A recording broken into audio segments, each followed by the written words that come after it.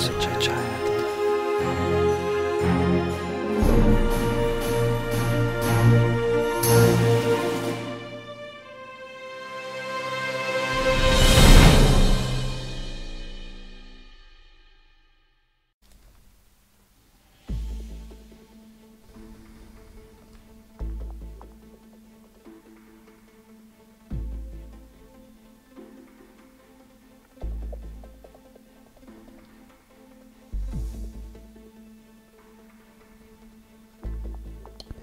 Protnaprotirda Samsha, Voendron, Čak mistrhový Newhalast a toto je Sharazure Jayante, kdy se pomocí dělu hvězdného Avalonu naladíme na nadcházející měsíc a pomocí dalších karet udělám vhled pro jednotlivá znamení siderického inekválního zvěrokruhu. Um, Dřív než eh, dnes začnu uh, vykládat, tak uh, bych rád dal vědět, že konečně je k dostání má nová kniha Endralon Rockville Ahvaj Rishi Daeseam, což je kronika všech andělů hvězdného Avalonu. Je to vlastně taková učebnice. Na mém YouTube kanále najdete unboxing, který jsem již publikoval, kde vás provedu celou knihu, ukážu vám, jak vypadá dostání už v tuto chvíli bude zřejmě na Amazonu, pokud ne v tuto chvíli, tak během nadcházejících pár dnů. Čekám na to, až knihu zalistují. A přišlo mi, že Endralon tentokrát využiju při jednotlivých věžbách, kde budu věštit vlastně tím, že založím prst do knihy, takže každé znamení dostane nějaké své poselství právě z této knihy. Tak. No a um, když už teda je to celé endralonské, tak já vytáhnu jednu kartu jednoho anděla hvězdného Avalonu, který je společný pro nás všechny pro měsíc prosinec a vychází nám tady Kagáš jako světlice míru. Říká, sdílej své nadšení, dávej lásku druhým, víc si hraj, Děkuj za dobro a předávej ho dál a hlavně dívej se sám na sebe jako na výherce.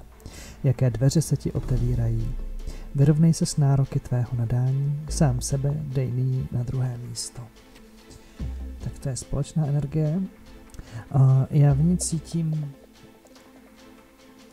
jako to nejdůležitější to, že je to světlice míru. Možná si říkáte, no tak to je jako hezký, ale jak se tou světlicí míru mám stát. A nevím jak vy, mně na toto pěkně funguje technika Ho'oponopono. Konec konců poslední dny si s ní dost pracuji a, a vlastně je to o neustálém odčišťování, o tom dostat se do nějakého nulového stavu. A to, to čeho si já všímám u uh, práce s Ho'oponopono je, že vlastně se vyladil na takový vnitřní mír, kdy najednou mým životem prostupuje víc lásky plných vibrací. Já to třeba vůči sobě cítím jako hodně terapeutická, protože jsem si něj prošel velmi hlubokým truchlením, takže teď je tam spoustu věcí, které vlastně tím ho'oponopono léčím a e, cítím mnohem víc e, vnitřního klidu, než, než, než když jsem uh, ho'oponopono nepoužíval. Mm, konec konců, teď když ještě vezmu toho Endraona, tak Endraon je vlastně takovým um, nástrojem, možná trochu komplikovanějším v tom, jako, že vlastně pomocí něj vytvářím několik x cest k vnitřnímu míru. Jo, že to není jako, že se spolehám na jednu cestičku, kterou si jakoby vytvořím, ale když uh, prošlápnu těch cestiček několik, tak potom, když jedna selže, tak nejsem uh, jako jenom závislý právě na té, uh, která nepomohla. Jo? Takže toto je vlastně takový průvodce, jak se dostat do svého nitra. Světlice míru ovšem neříká, že toto musí být vaše cesta. Světlice míru říká, nalezni svoji vlastní cestu, jak ty se spojíš se svým uh, vnitřním mírem. to ostatní, to, co jsem četl dál, mi přijde, že to už jde pak jako samo. Že už se o to nemusím starat. Protože když budu v míru sám se sebou, tak to svoje nadšení budu přirozeně s druhými sdílet. Stejně jako budu přirozeně dávat lásku druhým lidem. Stejně jako budu přirozeně děkovat za to, čeho se mi dostává. A budu přirozeně vnímat sám sebe. Pozitivně. Jo, že si nebudu vlastně jakoby vědomě nějakým způsobem ubližovat. To všechno ostatní je vlastně už ta navýšená vibrace, která je jako takovým bonusem. Jo? Že dokud vlastně o ty svoje vibrace nepřijdeme, tak uh, si možná nebudeme úplně tak vážit toho, že tam ta vibrace je. Ale na druhou stranu, světelní pracovníci nezískávají vibrace zadarmo. Na nich tvrdě makají. Takže mně přijde, že um, spíš jenom v takovém dlouhodobém horizontu člověk tak jako může pozapomenout, jaké to je vlastně žít bez těch vyšších vibrací. No a světlice míru je jakoby energie, meditace plus vysoké vibrace. Vysoké vibrace bývají třeba i ostré, vysoké vibrace neznamenají, že jsou nutně jako příjemné. a ta meditace může ty eh, ostré vibrace jakoby změkčit, jako z ostrého světla se stane měkké světlo, příjemné, ve kterém se příjemně pobývá. Jo, tam si můžete třeba všimnout v tom duchovním světě takových lidí, kteří sice hovoří pravdu, ale bolí to, a pak jsou lidé, kteří uh, hovoří pravdu, ale je to víc s tou láskou. Jo, no. Um, takhle to nechám. No a uh, Kagáš nám vlastně uh, bude dávat takovou ochranu těm jednotlivým výkladům uvidíme, eh, do jakých oblastí vlastně budete mět vložit tu energii míru. Jo, že ty karty, které vyložím pro ty jednotlivá znamení, znamení, vlastně ukáží, kde je co v nesouladu. A ten kagáš, toho vy si můžete přivolat. Teď si říkám, jak, jak si přivolám kagáše. Hmm,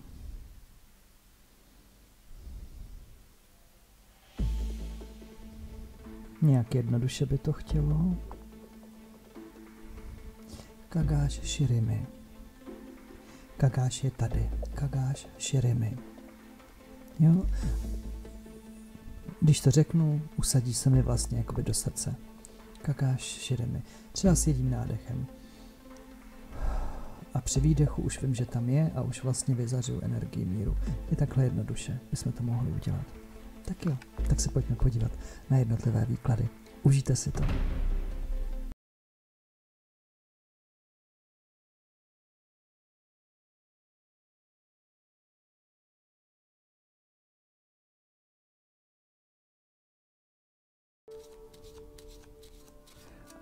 Čtení Kozorovu, já tě srdečně zdravím a vítám tě u tvého výkladu. Míchám se tady uh, padlé anděle, a uvidíme, co tě čeká tady v měsíci prosinci a jak to o, bude spojené vlastně s tím kagášem, který má pomoci nastolit mír. Dřív než začnu vykládat, tak uh, mi přišlo čistit teď chvilinku něco z toho, co se ti děje. Omlouvám se za všechno, co se děje prosím odpust mi. Omlouvám se za všechno, co se děje. Prosím, odpust mi. Omlouvám se za všechno, co se děje.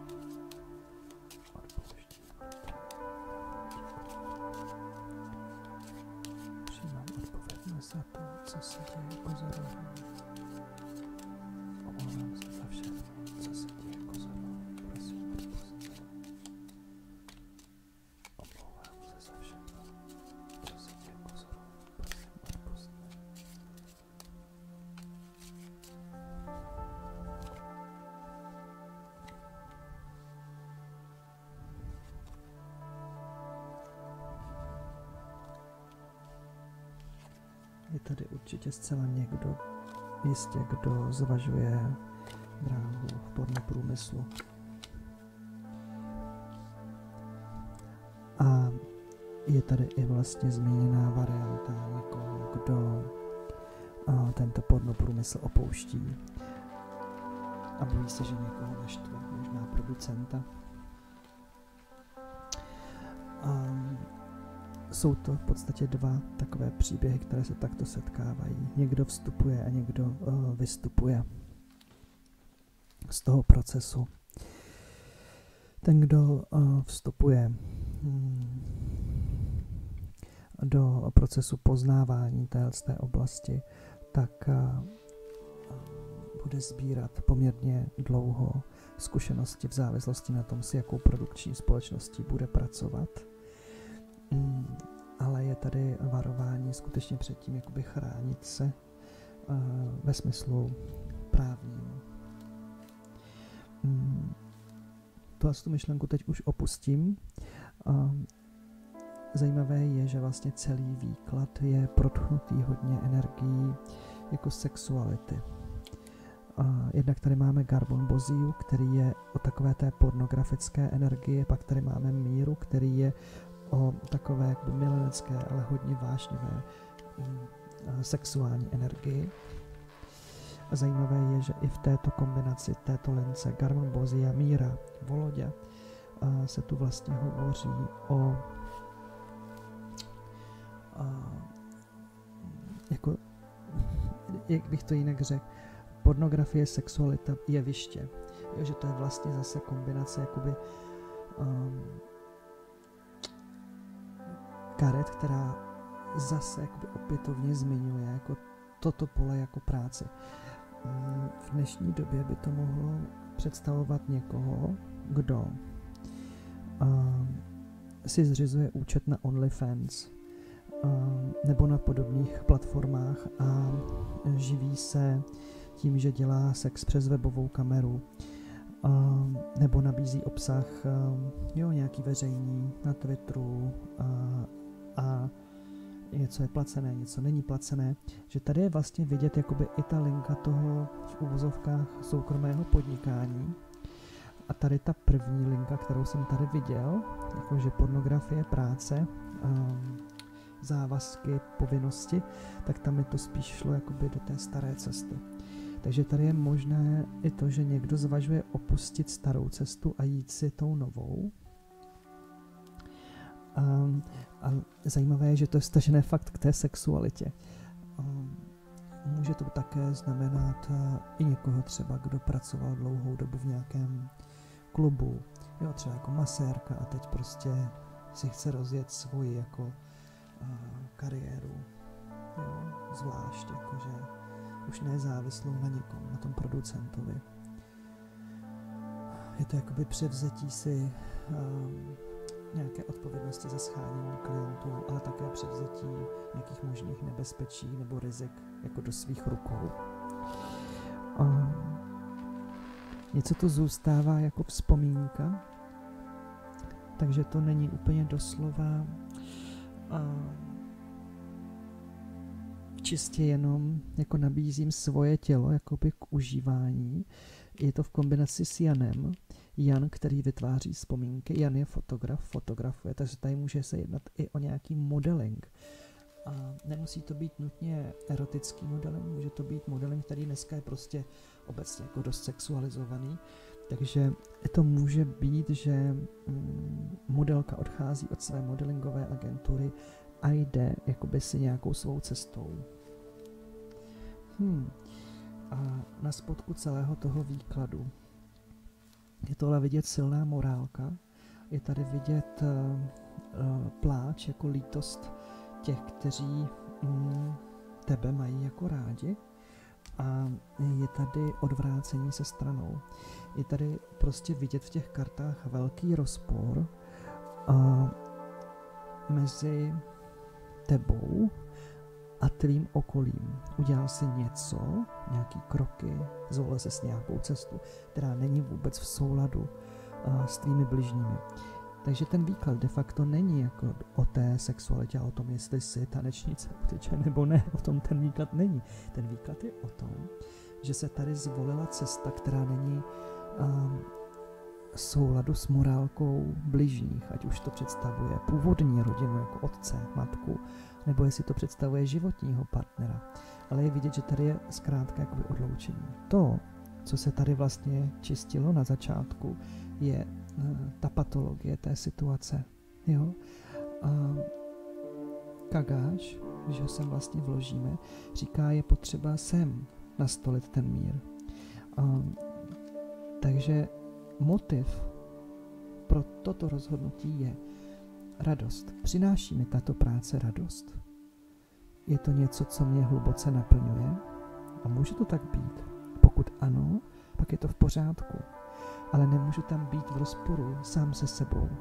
Můžu přijmout odpovědnost za pocity lidí kolem mě a můžu je, stejně jako já na začátku, čistit tyto pocity pomocí Ho'oponopono.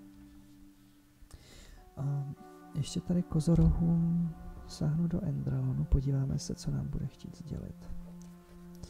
Slovo nyní. S tím, co řešíte nyní, bude hodně souviset hněv a jeho vyjádření. Nemusíte ještě vědět, jakým způsobem to má proběhnout, ten hněv.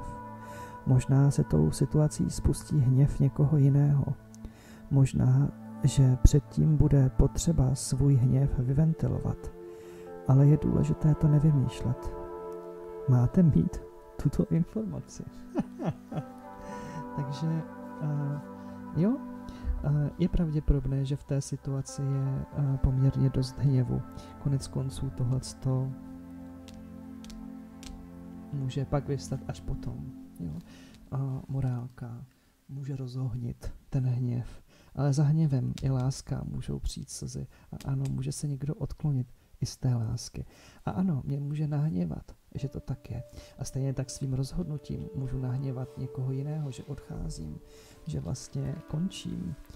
Jo? A můžu nakonec být já rozhněvaný, že to takhle dopadlo. Ale já za to mám odpovědnost a já to potřebuji čistit. Takže omlouvám se za všechno, co se děje. Prosím, odpust mi. No já se budu těšit příště. Po té DSM šel.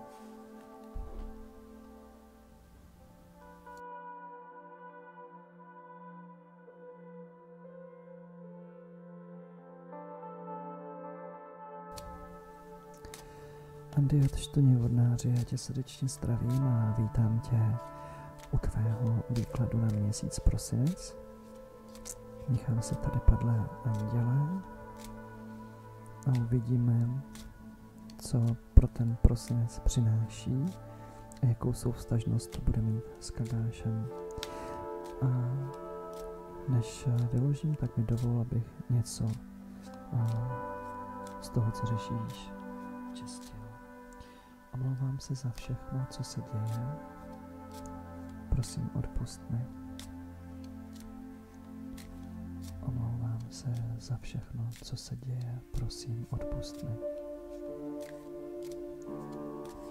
Omlouvám se za všechno, co se děje. Prosím, odpust mi.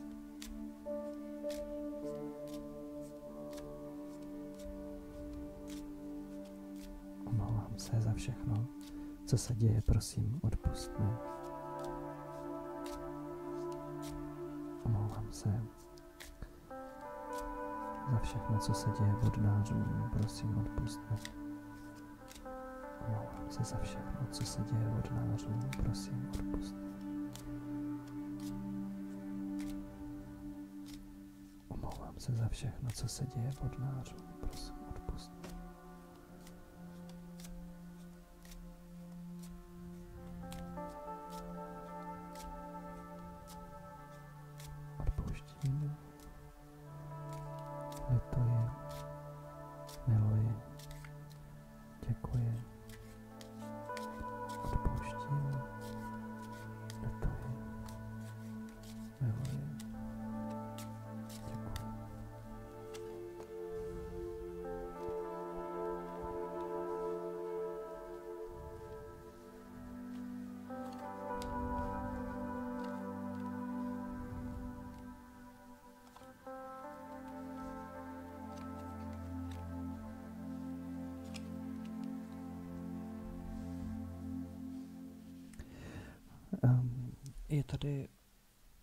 Nastavení těch karet hodně silné v tom, jakým způsobem se tu snažíte jako vymezit.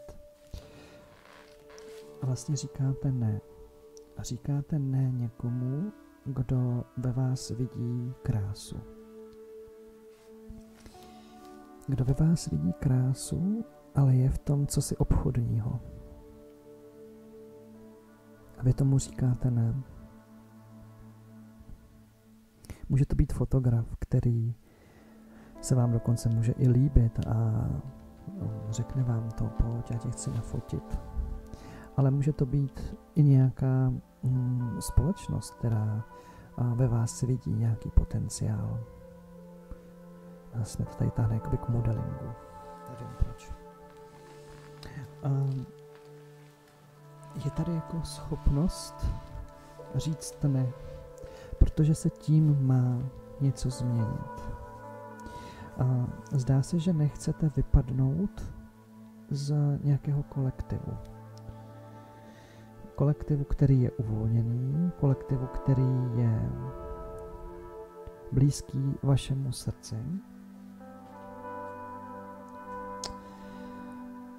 A celé je to položené na vzpomínce na někoho, kdo, s kým vám bylo dobře, ale kdo vás neměl úplně tak rád protože neuměl mít rád sám sebe. Je to vzpomínka na někoho, komu mm, jste ublížili, ale on ublížil také vám. A tahle vzpomínka, která tu je, vlastně ovlivňuje to vaše rozhodnutí. A tedy za každou cenu není nutné říct ne. To ne může být pouze reakcí na tu, tu starou vzpomínku.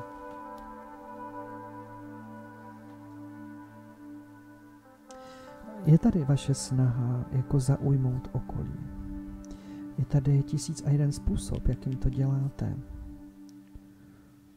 Um, je tady ale vidět i spoustu útěků od zodpovědnosti. Není tady převzetí odpovědnosti.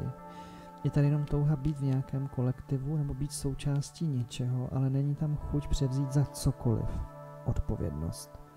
Jenom mi tam je dobře, možná protože je tam někdo, kdo tu odpovědnost přebírá.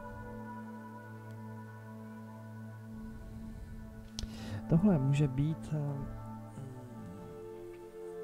třeba karta někoho, kdo žije v domě, kde neplatí měsíční výdaje, protože to dělá někdo jiný. A nebo to může být nějaký vhodný, jak to říct, eh, přístřešek, kde poplatky jsou velmi nízké. Nebo to může být a teď já tadyhle vlastně odmítám něco, co by mi mohlo přivíst, přinést eventuálně jako uh, výdělky a možná i trvalé výdělky. Um, já to vlastně ale odmítám, protože se rouhám protože čekám, že tady to takhle bude vždycky. A teď já mám vníst do téhle situace mír.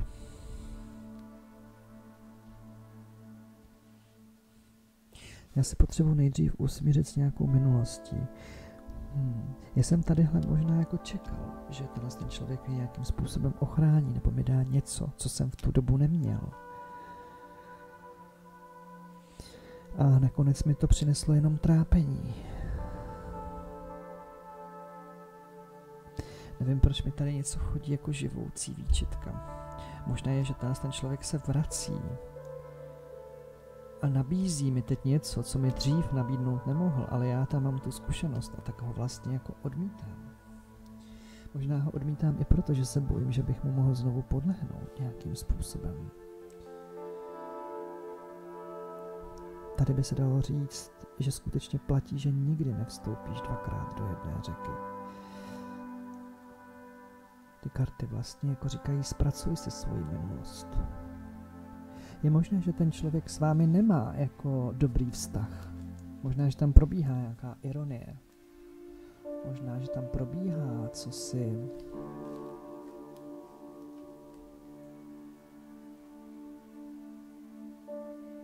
nepříjemného. Ale to neznamená, že v té profesní rovině by to nemohlo fungovat.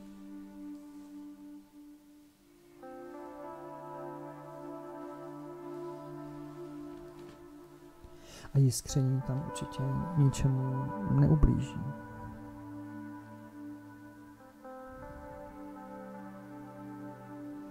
Takže vlastně je to tady o převzetí odpovědnosti za svůj život, za své podmínky. Nevyhýbat se nějaké i odpovědnosti kolektivní. Vidíme, jaké poselství z knihy. Hmm.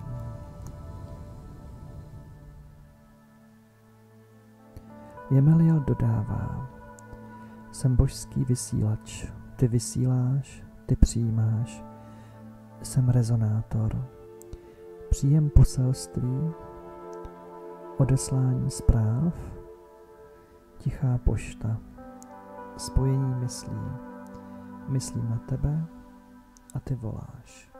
Telepatie. Mm-hmm. Takže zřejmě um, tenhle ten člověk, který se tady objevil, je někdo, na koho myslíte a ozývá se nejenom proto, že by sám chtěl, ale protože jste si ho i sami jako nějakým způsobem přivolali. Mně chodí se teď zaměřit ještě na tuhle linku. Omlouvám se za všechno, co se děje, prosím odpust. Omlouvám se za všechno, co se děje, prosím odpust mi. Omlouvám se za všechno, co se děje, prosím odpust mi. Touha po sexu. A utíkám od nějaké bolesti, která proběhla a v nějakém vztahu, v nějaké situaci. A utíkám od ní touhou po sexu. Touha po sexu je tady jako útěk od nějaké bolesti. Ten člověk mě může přitahovat a může to být ale také odraz mého útěku od bolesti v nějakém předešlém vztahu. Buď už s tou konkrétní osobou, nebo s nějakou jinou. Když si to uvědomím, vztah se pročistí a můžu tady v klidu navázat spolupráci. Trots på tid är Sävekära.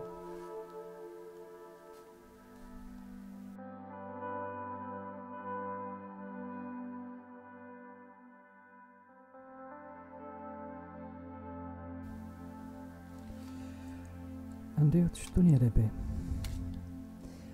Já vás srdečně zdravím, vítám vás u vašeho čtení a než to do něj pustím, tak mi dovolte něco vyčistit. Omlouvám se za všechno, co se děje, prosím, odpust mi.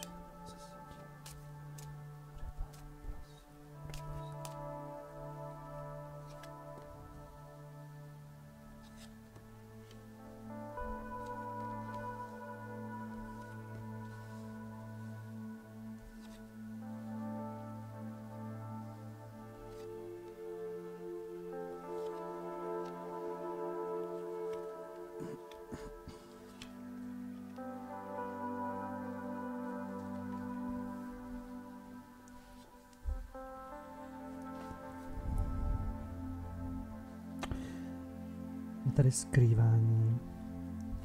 Doslova se tady hovoří o sexualitě skrývání svého jakoby sexuálního já. Předstírání, že nějaké věci jsou jinak. Tady ty tři karty po sobě, jak jdou, vyloženě ukazují někoho, kdo neprodělal svůj coming out. Ať už je to s čímkoliv. Chodí mi, když je to obecný výklad, že coming out můžeme udělat v různých oblastech, týkajících se různých věcí. Zkrátka, tady někdo nevyšel s barvou ven. A je vidět, že ho to dost trápí. Kreativní člověk, kterého dost bolí to, co musí vlastně skrývat. A zatím je to ještě to prvotní, jako ani, ani mý rodiče, ani moje matka neví. Obávám se, že v mém okolí nejsou prostě lidé, kteří by ty věci chápali, pochopili. Nemůžu říct, jak ty věci mám. Dneska to může být i cokoliv.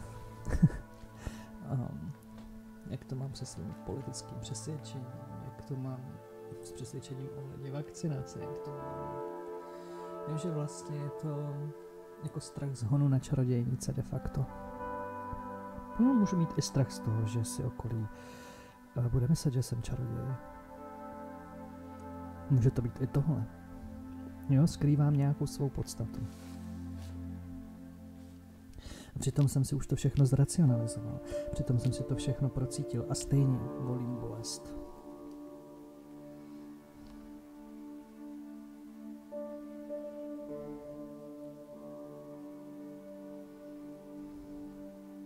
Takže hledám jenom nějaký úniky. Dokážu si představit tady pod tou kartou umělce, co je na Instagramu pod pseudonymem nikdy neukazuje svoji tvář, protože nechce, aby jeho okolí vědělo, že tvoří, že maluje. Jo, dokážu si představit kartáře, který nikdy neukáže svoji tvář, protože se nechce exponovat, nechce, aby to lidi okolo něj věděli. Je to předstírání. A předstírání, který jako ještě je, uh, jak to říct, alibistický. Jo, že vlastně ty karty jakoby nereflektují vůbec to, co by ve skutečnosti to okolí udělalo, nebo jak by zareagovalo. Tady je to všechno jako vykonstruovaný, jako odůvodněný, proč to nemůžu udělat. A ještě, když bych to uh, na dnes, tak ještě za 20 let uh, byste dělali, jako že to přece bylo jako nutný a dělali byste, že jste jakoby bez poskvrny, ale tady ty karty jakoby z vás nechtějí sejmout odpovědnost za jako svoje strachy, se kterými se tu nechcete jako konfrontovat.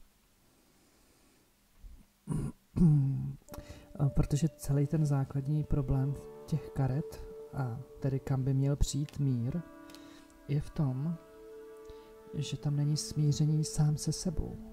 Nikdo po vás nechce udělat coming out, pokud nejste smíření sami se sebou. Pokud nejste smíření se svým životem, se svou smrtelností. Hodně mi tam chodí smrtelnost, ani nevím proč.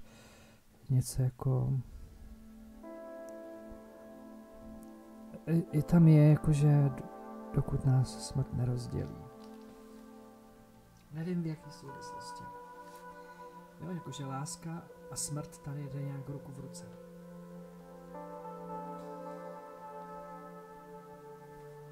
Jakože žít lásku by byla moje smrt. Je to možný, no třeba... Třeba to tak je, já nevím. Možná tam hrajou roli jiný vlivy, jo, karmický třeba. No, pojďme se podívat, co k tomu chce, co k tomu chce dodat uh, Endra.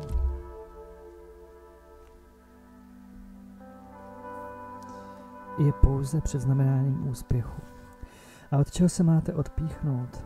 Vězte, že jste ve fázi, kdy vy máte začít rodit vajíčka, protože jste uzráli do určité, řekněme, úrovně, kdy je fajn uvědomit si, že sklízím, sklízím plody svých předešlých kroků.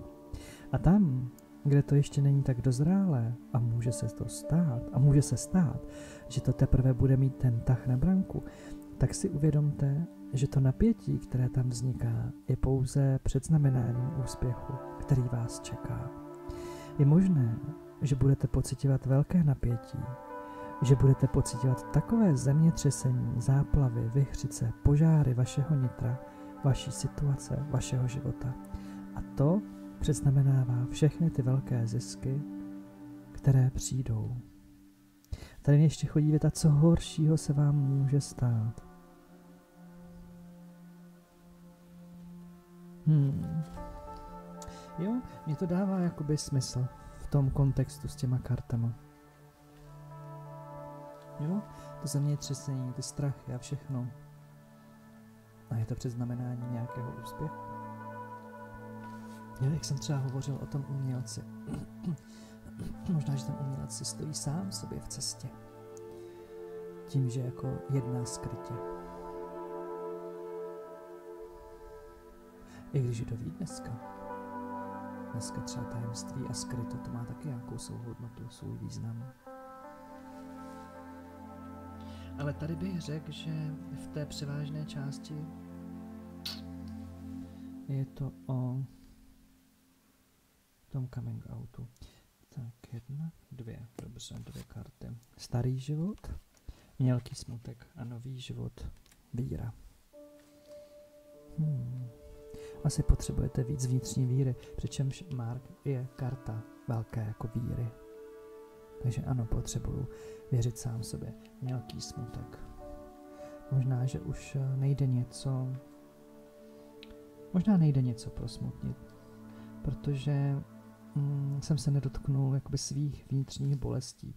To, co je vlastně skryté zatím, zemětřesení. Vidím, je tady ta, ta zlatá barva. Jo, že to je jako kdyby vstup do toho hlubokého smutku. Hmm. Možná je to i tohle. Najdu ten mír, ale potřebuju víc té víry, víry v sebe. I víry v dobro. Víry v dobro, možná v to a v dobré srdce. Protože když budu věřit, že mám dobré srdce, tak se mi nemůže nic stát. Respektive věci nepřichází jako trest potom. Spíš takhle. Hmm. Se za všechno, co se děje. Rybám, prosím, odpust mi. Omlouvám se za všechno, co se děje, prosím, odpust mi. Omlouvám se za všechno, co se děje, prosím, odpust mi. Vracne potý DSM šál.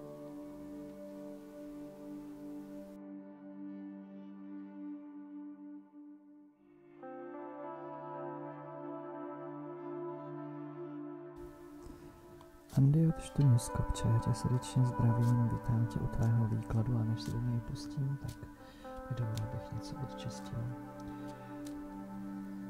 Omlouvám se za všechno, co se děje. Prosím, odpust mi. Omlouvám se za všechno, co se děje. Prosím, odpust mi. Omlouvám se za všechno, co se děje z kopců. Prosím, odpust mi. Omlouvám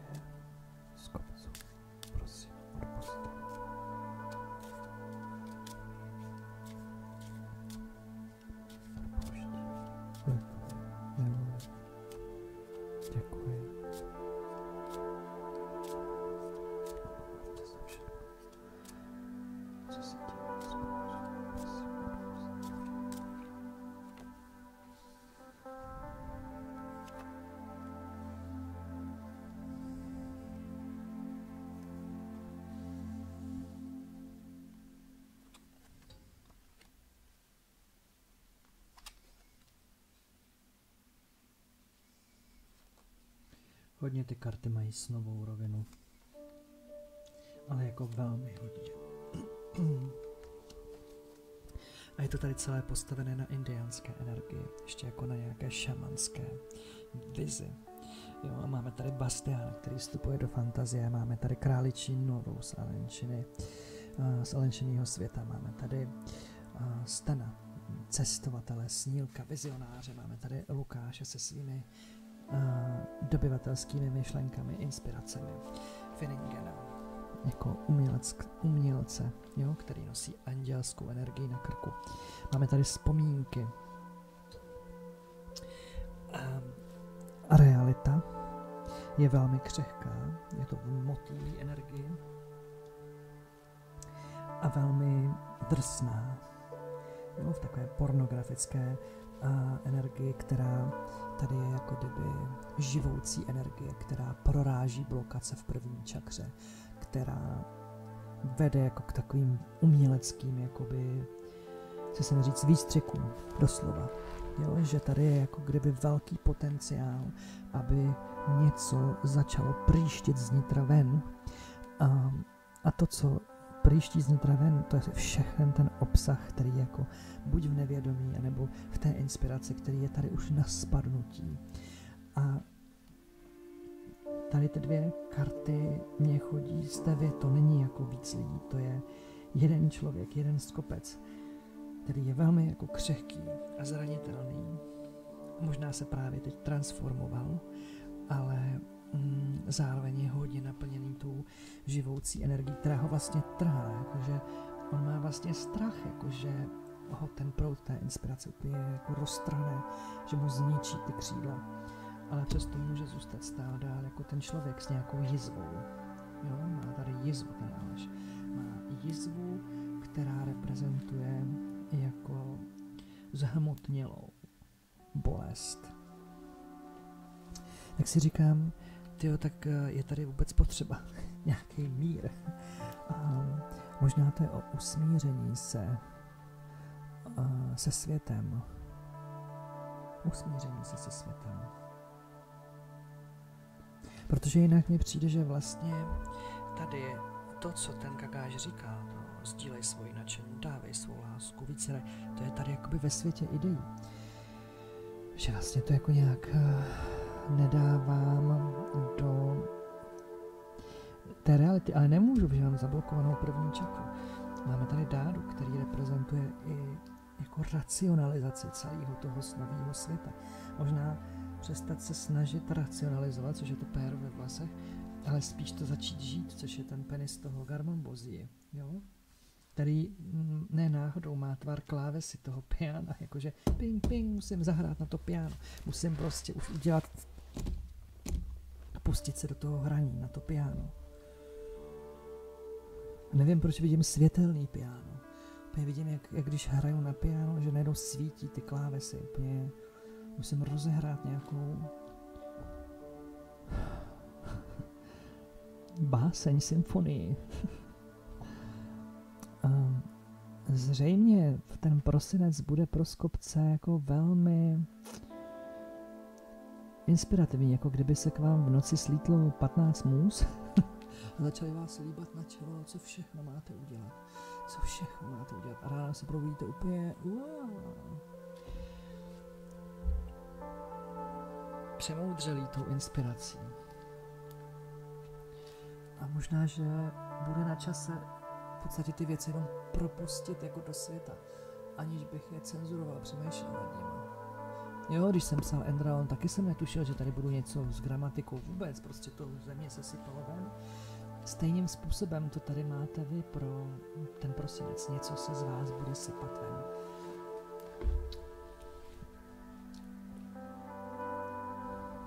Hodně fantazie. Hmm.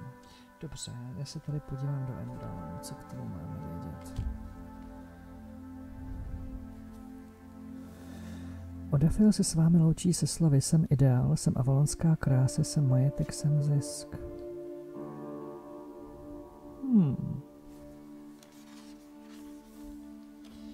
Ziskem je pro vás to, když naplníte poselství od Afila, když se vám rozšíří možnosti zisku, proto je důležité, abyste si vizualizovali, po čem právě teď toužíte, takže se znovu vraťme k vizi, k té, té tmě. Sice jsem říkal, že není důležité malovat, ale poté, co uděláte meditace, tak vaším ziskem bude, že si sednete nad papír a namalujete si své vize. A nejde to přeskočit. Vy se nejdříve potřebujete rozloučit se starým vnímáním, objevit v té tmě něco nového a na tom novém začít něco stavět. Hmm, takže možná je ten mír vlastně o tom mm, přestat svádět to, že vám nic nechodí na druhé a začít jako dávat do praxe to, co vám chodí. Takže když ne, jako tvořit něco velkolepého, tak vlastně malovat ty svoje vize. Tady to bylo doslova popsané. Malovat svoje vize. Abych je viděl před očima. Abych je mohl naplňovat. A jak vidíte z mých karet, nepotřebujete nějaký velký talent na to něco umím namalovat. Rozumíte mi? Jakože nejde o to, jak. Prostě tak, jak to umím, tak to udělám.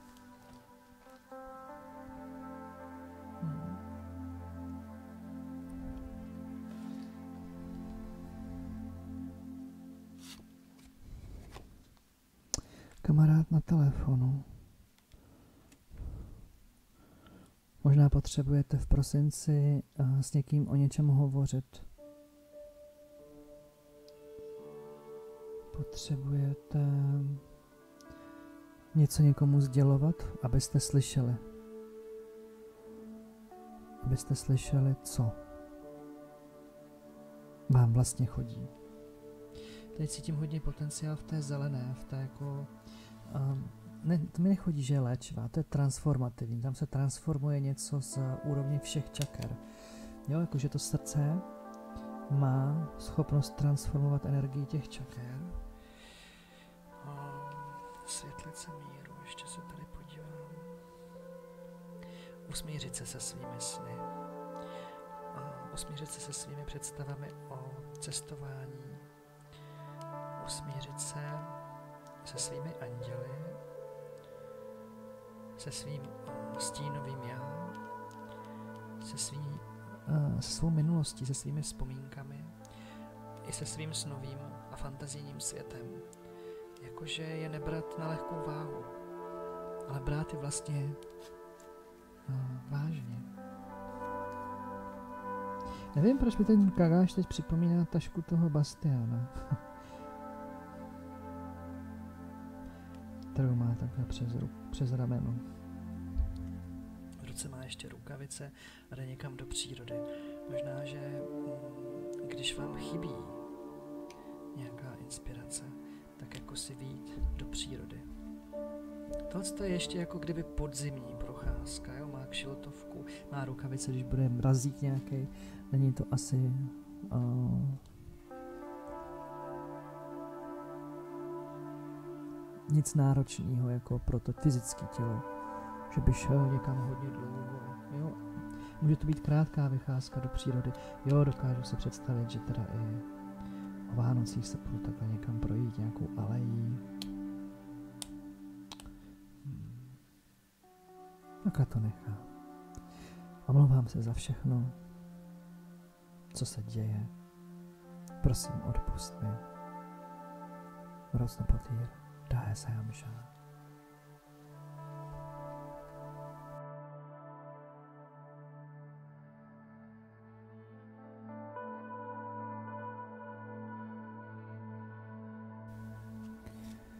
Andrej já tě srdečně zdravím a vítám tě u tvého výkladu. A než se do něj pustím, tak mi dovol něco pro víky odčistit. Mluvám se za všechno, co se děje, prosím, odpust mi. Omlouvám se za všechno, co se děje, prosím, odpust mi.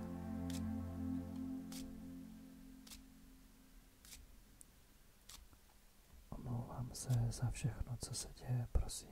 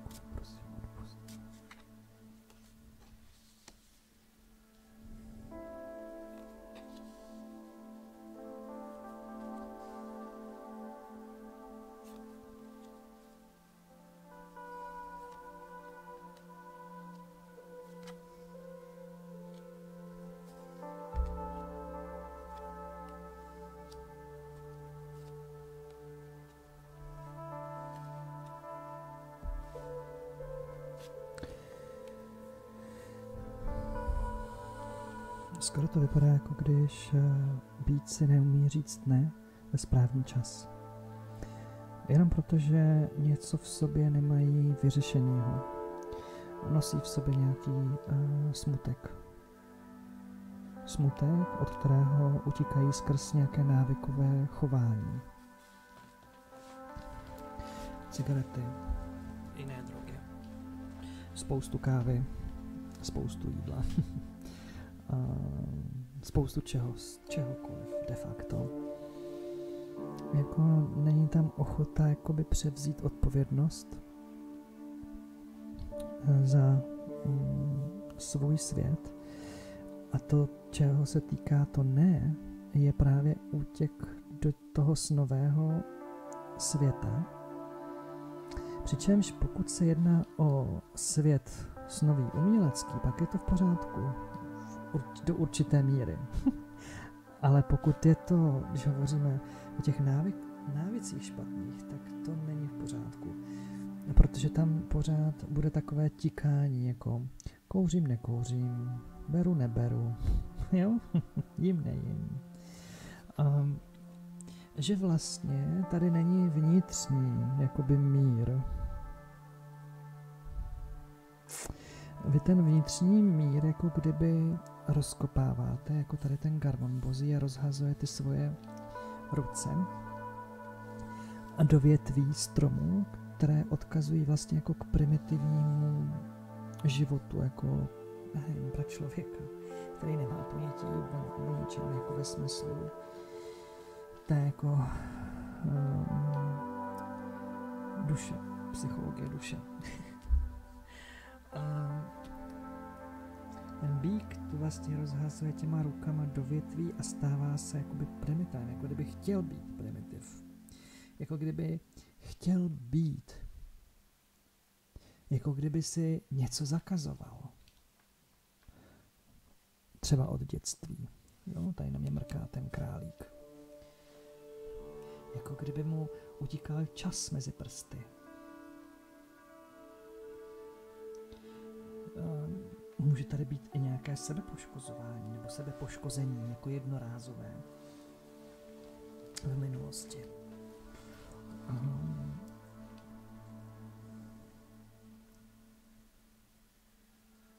je to jako kdyby Bík byl uzavřený sám v sobě a chodil jenom vykukovat. Občas. Místo něj tam sedí tenhle grázl. Ten grázl je možná jako silný slovo, prostě jako mm, moc se nestarám, dělám si co chci, pokuřuju si, kopnu do plechovky, spíš takový starý jako grázl, jako uh, z filmů z 80. let, jako než těch dnešních, jo. um, Možná, že je to nějaká míra, ještě chodí říct. Možná, že to je ještě nějaká míra toho, co tady vlastně vidím. Možná, že je to snaha o vyrovnání se sám se sebou, zjistit, kdo jsem, co jsem, proč jsem, Možná mám pocit nějakého velkého útlaku, že na mě všechno vlastně jako kdyby tlačí, jo? že teď mi ten kagáš vyloženě zapadá jako pucle takhle do toho tvaru. Jo? Možná, že vlastně vytvářím prostor pro mír. Možná, že můj prostor pro mír jde ruku v ruce s těmihle věcmi, které jsem teď jako trapně vyloučil. A možná, že jde jako do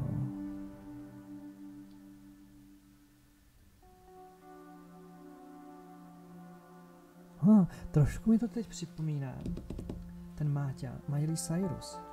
Jo, když byla jakoby vecpaná mediálně do postavy Hany Montany a nebyla to ona a vlastně potřebovala udělat tohle jako potřebovala to cigáro, potřebovala uh, uh, být přesexualizovaná jeden čas, potřebovala být vulgární, potřebovala, aby vlastně rozbourala ty vnější jakoby tlaky na to, tím je, aby se nenechal vlastně jako uvěznit v medailonu nějakých představ jiných lidí, jo. Možná, že to je to, o co se tady Bík snaží. Aby mohl být sám sebou. Potřebuje k tomu čas, potřebuje k tomu dozrát. Pojďme se podívat, co na to je dran. Lenvon. Oh, takže jsme u inkarnačních men. Mhm. U inkarnačních men jsme. Takže, takže, takže si něco přečteme k inkarnačním. Víte, tedy když si rozpomenete, kým jste, odkud se inkarnujete, již víte z Vězného Avalonu, ale kým jste, to se právě dozvíte, až vám duše napoví, která kombinace je ta pravá. Třeba pocítíte hluboký klid, nebo se jizva roztrhne a vyplaví se bolestná vzpomínka na váš hvězdný domov, vaši hvězdnou rodinu. Nechtě hledání vašeho jména příjemným procesem. Hmm, no ale ta vzpomínka, kým vlastně jsem, Tady je vlastně ta vystupující osoba, která se chodí koukat ven, kým vlastně je. Jo, možná, že je tohle všechno jakoby podružný teď v tuhle chvíli. Možná, že pro Bíka je nejdůležitější si teď jako rozpomenout na to, kým je, odkud je. Aha. Jo, protože když se vlastně podívám do toho výkladu, tak to chybí jako ty duchovní energie z vyzbylých karet. Jo, jsou tady hodně ty zemské, takové ty světské. Možná, že je potřeba si rozpomenout. Bolestná vzpomínka se roztrhne.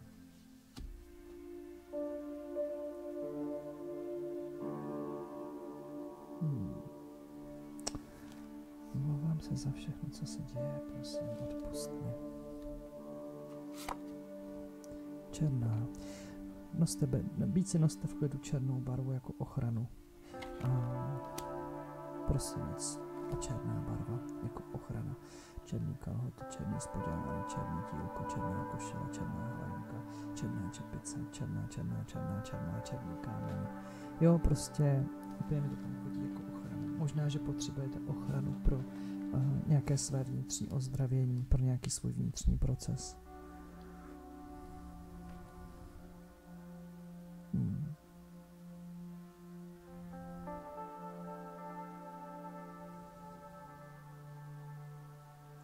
Tady vlastně mi chodí karty vyrovnej se s nároky tvého nadání. To je to, proč jsem zmiňoval tu Miley Cyrus, že vlastně o to teď jde, vyrovnat se s nároky, které jsou na mě kladené. K tomu potřebuji černou jako ochranou, k tomu potřebuji rozpomenout se odkud jsem a mít to jako takovou osobní jako záležitost, svůj osobní posvátný prostor, do kterého nikdo nevidí. Jo? Je o vytvoření jakéhosi tajemství své duše. No, tak tak. Proč se po sem, že?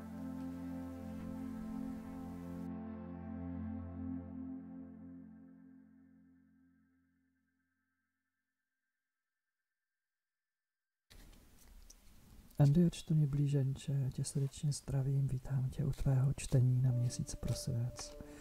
A než domíchám karty, tak mi dovol něco odčistit. Omlouvám se za všechno, co se děje. Prosím, odpust mi. Omlouvám se za všechno, co se děje. Prosím, odpust mi. Omlouvám se za všechno, co se děje. Blížencům, prosím, odpust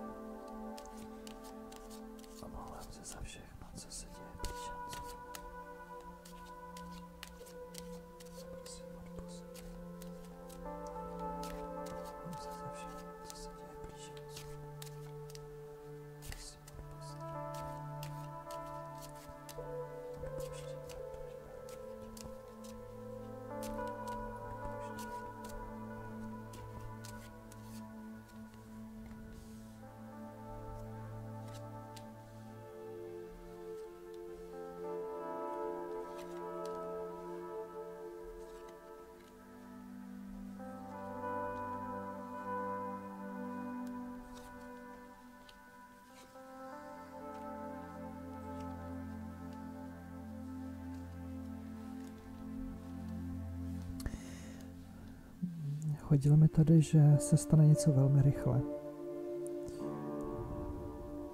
A možná se to bude dotýkat uh, duchovní proměny. Jako, že to bude velmi rychlé, jako duchovní probuzení. Od bolesti k lásce. Od nevědomosti k vědomí. Celé toto probuzení eh, to jde ruku v ruce s nějakým milostným splanutím.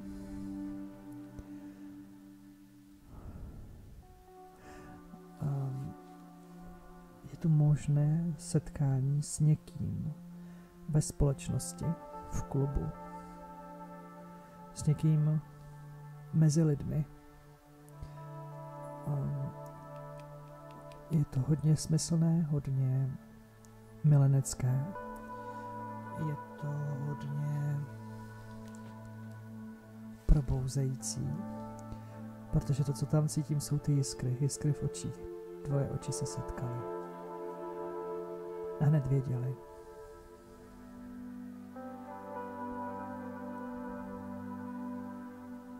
A možná, že ten klub je zavádějící, může to být třeba návštěva divadla. Protože konec konců i pod tou budovou je karta divadelníka Volodě divadelník. A Veno, který představuje jakousi hvězdnost. A jakási vzpomínka, která mě může vést k tomu, že chci navštívit i stará místa. A, a možná i zaspomínat na staré lásky a na místa, kde jsme se setkali. Ještě takhle. Hmm. Tady cítím elektrizující energii.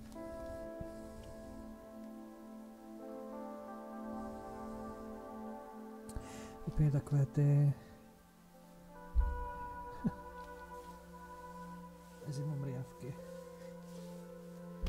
Už nevím, jak se to řekne česky, husí kůže.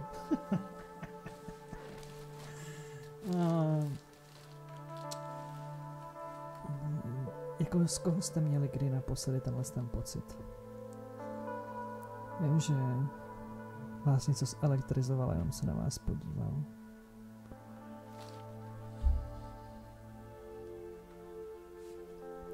Jenom si říkám, jak tady sem zapadá ten eh, kagáš. A víte, co mi chodí? Tak jak tady Míra vystrkuje penis, tak mi přijde, že kagáš je jako kdyby teď tím eh, genitálem toho anděla hvězdního Avalonu. Že možná k vnitřnímu klidu, k vnitřnímu míru může napomoct jako hluboké sexuální uspokojení, které prožiju s někým,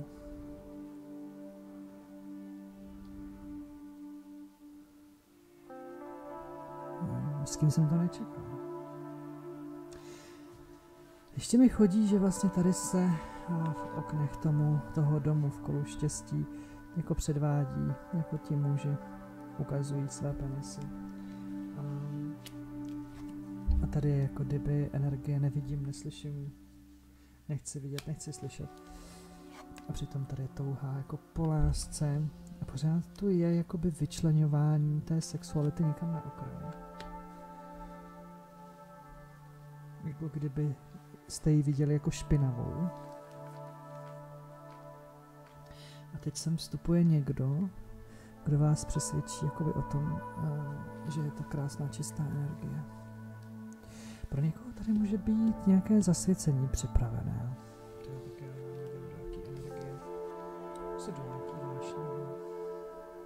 Já sám s takovou energií nemám zkušenosti jako ve smyslu toho zasvěcení. Nevybavuju si teď, že by nějaká ve mně vyvolala takové pocity. Možná Merlin. Merlin vlastně. Protože Merlin uh, odboural jako strachy a pak tam byla fáze toho jako pocitu, jak strašně jakoby nádherný jako jsem, jako uh, probuzení vnitřní krásy. tam jsem cítil tohle. A s tím spojenou jako mm, sexualitu. Jo, takže možná ten Merlin. Zasvěcení do Merlina. Hmm. No. Dobře, pojďme se podívat, co k tomu Embryo. Zatím z toho moc moudrej nejsem, ale nevadí, že nemusím být. Odafil, to už tady bylo. Odafil se s vámi loučí se slovy jsem ideál, jsem avalonská krása. jsem majetek, jsem zisk. Jo, krása. Ziskem je pro vás to, když naplníte poselství Odafiela, že se vám rozšíří možnosti zisku. Proto je důležité, abyste si vizualizovali, po čem právě teď toužíte. Takže se znovu vrátíme k vizi a k té tmě. Sice jsem říkal, že není důležité malovat, ale potom, poté, co uděláte meditace, tak vaším ziskem bude, že si sednete nad papír a namalujete si své vize. Ale nejde to přeskočit. Vy se nejdříve potřebujete rozloučit se starým vnímáním, objevit v té tmě něco nového a na tom novém začít něco stavět. A nevím, proč mi tady chodí Odafiel k vám může přihopskat také v podobě modrého jelena, když si namalujete jeho symbol, myslím toho Odafiela. Takhle vypadá Odafiel. Když si namalujete symbol Odafiela, tak co? A je to velmi zvláštní, protože při automatické kresbě se symbol Odafiela vykreslil v porovnání s ostatními celkem malý. Nějakou roli toto sehrává. Cítím, že v této podobě může Odafiel proniknout víc do zaběhnutých struktur, může prolíst různé komůrky a přijde mi, že ta černá žlutá ve spojitosti s velikostí symbolu může lecos otevřít. Nevím, proč mi teď chodí uh, Odafiel v porovnání s ostatními uh, malý. Tady je vlastně jakoby zvětšený. Jo, to je vlastně jako přirozená jako podoba penisu. Malý a pak se zvětší, když dojde ke zrušení. A co tu máme? Máme tu míru. A máme tady toho kagáše. Možná, že ve vás vzrostl nějaký představy. A vizualizace, vizualizace nějakého muže, nějakého zážitku. Přitáhnout si něco, prožít něco, ale musím si to dovolit představit. Asi ta rychlost může také znamenat rychlost manifestace něčeho. Takže co si v prosinci vizualizujete, se vám pravděpodobně v prosinci také jako stane. Teď ty uši toho stana mi připomínají si vám bude svítit jedno ucho. A kdo ví? tak jo, různopoty DSM šám.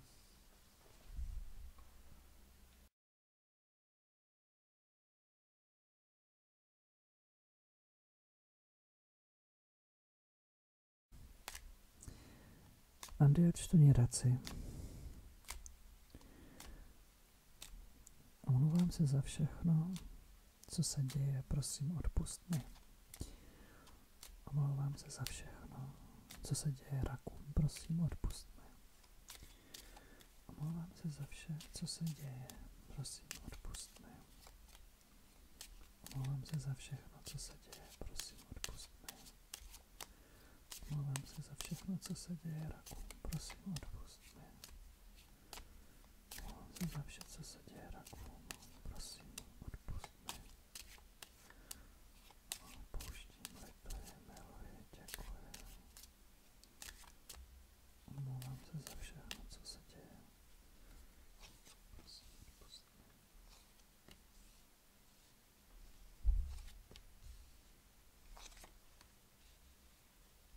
Je tady odmítnutí slávy.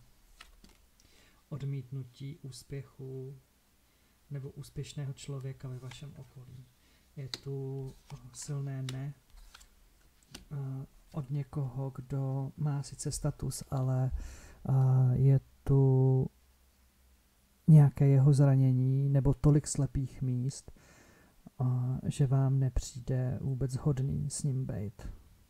Hodný ani vhodný. A je vidět, že ten, ten člověk vám jako dost podsuchal nervy nebo vás dost dlouho jako pokoušel v něčem. Možná jste se potkali pracovně, jo, a zjistili jste, že to je takový narušitel vašich klidných myšlenek. A možná je to někdo také z vaší minulosti, protože ústředním jako kartou je medailon, vzpomínka. Vzpomínka na někoho, kdo mě nějakým způsobem vlastně uh, trápil. A teď uh, od čeho mě vlastně odděluje? On mě vlastně odděluje hmm, od, zjevně od něčeho, co je skryté a exponované. To je hodně zajímavé, že tady ty dvě karty zobrazují v téhle souvislosti. Skryté, stydím se za, za sexualitu, exponované, ukazuje svoji sexualitu. A spojítkem, spojovatelem je Finningen. Umění.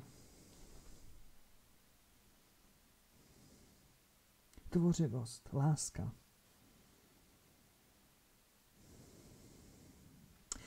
Ale také taková jakoby slepá láska, která potřebuje projít zkušenostmi. Těm, těm je to zkušenost potřebuje být trošku otlučená, aby získala moudrost. Jo? Ten Finningen má anděla na krku. A potřebuje víc jako porozumění, víc vhledu.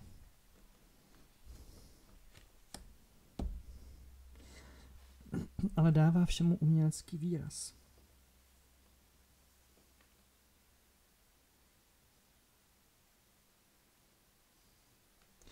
Tak přemýšlím, co... Když mě tady tento člověk, tato vzpomínka odděluje, proč mě odděluje od skrytého a exponovaného?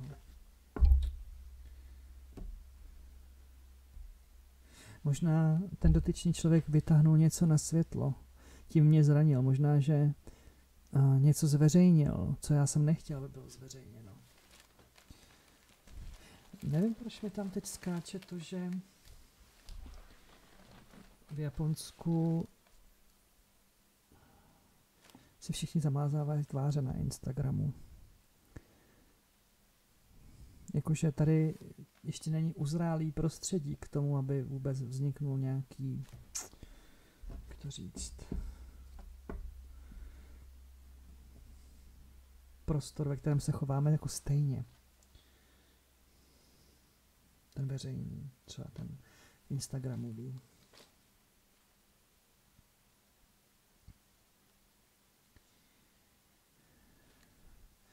Úplně, když tady sedím, mám uh, pocit, že zase musím něco sundat. A omlouvám se za všechno, co se děje, prosím, odpust mi. Uh, úplně nutí mě to sundat boty, um, pocit, že musím sundat snad vlasy nebo nějakou šlubku ze sebe. Je tady takový jako až začarování mi chodí. Dávej si pozor, co nosíš na krku. Od koho jsi to dostal? Proč to nosíš? Jsou tam, je to úplně, má to teď kvalitu vitálu, jako z Harryho Pottera. Hmm, zase jsme se dostali k inkarnacím. Tak jo.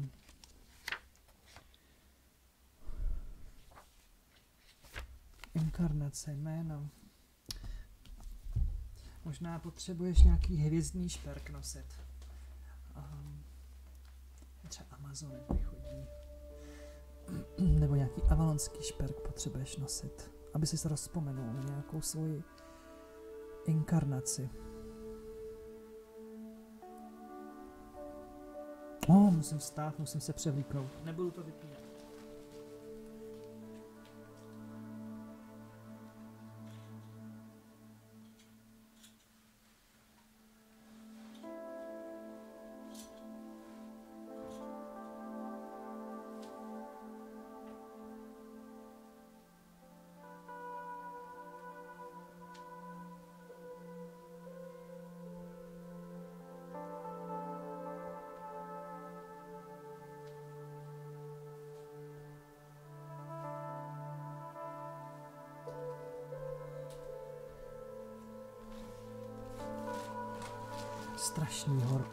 Udělalo.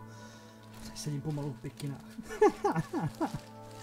a oh, fakt úplně jsem ze sebe musel všechno sundat.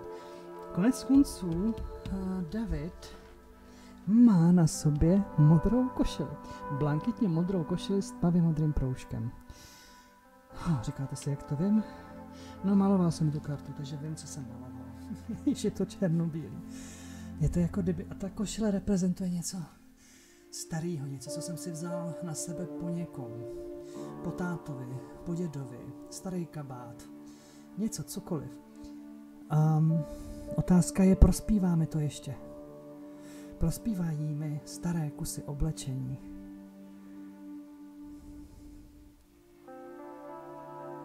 Staré přívěšky, staré náušnice. Nevím, proč si mám u vás pocit, že se potřebujete zbavit starých věcí, starého oblečení, starých krámů, se mi chce říct. Starých šperků, ne protože by mm, byly ošklivé, ale proto, že vás drží zpátky. A teď mi úplně chodí, jestli tohle není příběh jako někoho, kdo je jakoby v tom šperku. A vás to nutí jako kdyby se vymezovat vůči a úplně se tady úplně peleším na tom svém trůnu, jakože nemůžu sedět ani v klidu. A vůči slávě, vůči úspěšným lidem, namísto toho, abyste jim podali ruku a začali nějak spolupracovat. A ještě mi chodí skryté zjevné, odděluje vás to od skrytého zjevného v závislosti na tom, kde ten šperk máte. Jestliže ho schováte do truhličky, do, do šperkovnice, pak vás bude oddělovat od skrytého, když ho budete nosit od zjevného. A pak ten život najednou bude mít takovou jako tu energii, o které jsem teď hovořil, že ji potřebuji za sebe sundat. Musel jsem úplně sundat to oblečení. To mě hodně asociuje ten Garmon Bozia s těmi prapodivnými vlasy, o který jsou jak šlubka na něm. Jako kdyby měla odejít prostě ta energie pryč prostě. Vy se nějak energeticky rácháte v něčem, co vám není jako příjemný, nebo, nebo možná vám to je příjemný, ale není vám to k užitku. Dobře, kagáš. Já v něm cítím to odloučení. Odloučení se od, a teď jak jsem šáhnul do té knihy, do těch inkarnací, od, jako odloučení se od energií, inkarnací jiných, jako ne vašich. Jakože tady zasahují inkarnační vlivy jiných jako lidí do vaší inkarnace. A není to jako v pořádku. Takže je tady potřeba udělat hodně jako duchovního čištění. Pozorovat. Potřebujete, potřebujete pozorovat ten, ten svůj vlastní proces v čase. Takže to není, abyste slepě následovali něco, protože jsem to řekl, ale že jste dobrými pozorovateli svého života. Potřebujete pozorovat, co se kde děje, kde je nerovnováha, co cítíte, že vás zbržďuje, brzdí, co cítíte, že není v souladu a začít to jako pozorovat, abyste později si řekli, mhm, tohle jo, mhm, tohle ne. Takhle bych to viděl. Budoucna pod se A příští měsíc se budu těšit.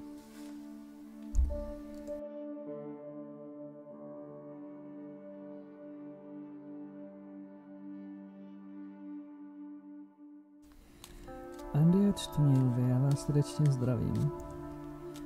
A doufám, že už se mi neudělá víc horko z karet, než se mi udělal u raku, že už bych tady seděl na hatej.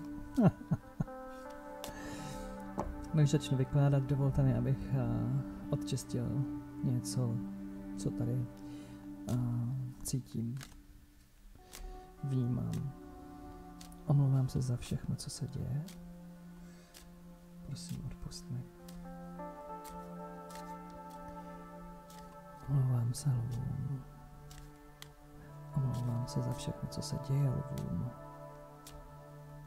Prosím, odpust mi. Omlouvám se za všechno, co se děje lvům. Prosím, odpust mi. Omlouvám se lvům. Omlouvám se za všechno, co se děje lvům. prosím odpust. Až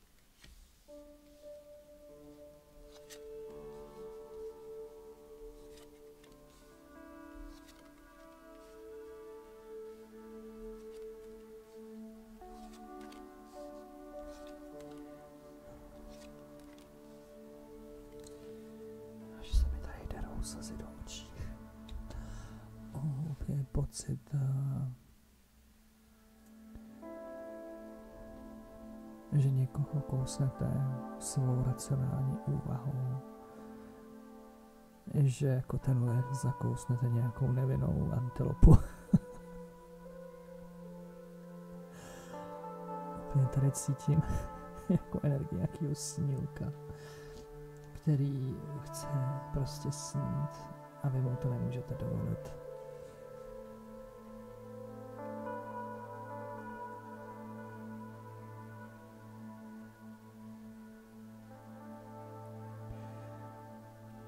Tady hodně her.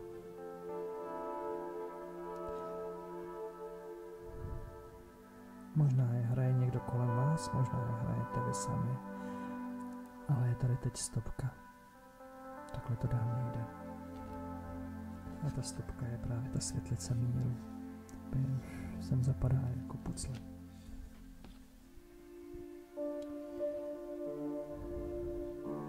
Je tady potřeba vyčistit uh, pravdou pracovní prostředí. Je potřeba skryté vynést na světlo a bojovat za pravdu. A je potřeba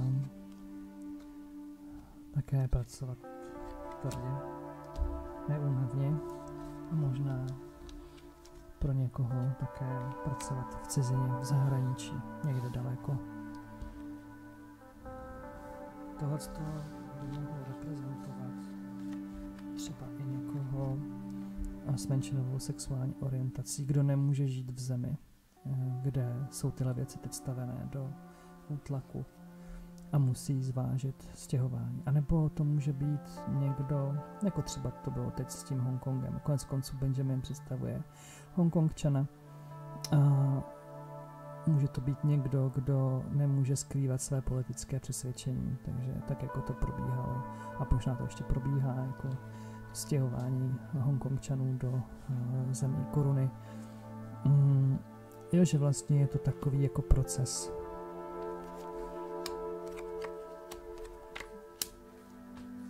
Že je to takový ten motiv.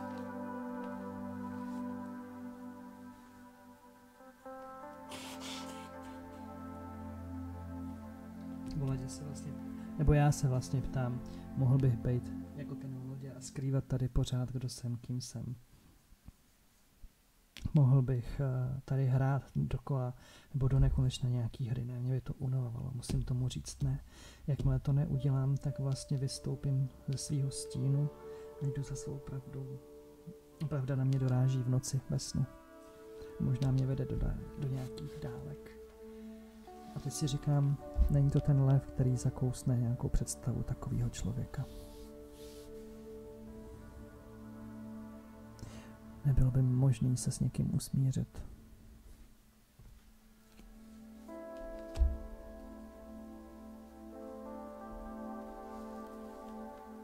Nepraktikovat žádnou hloubku.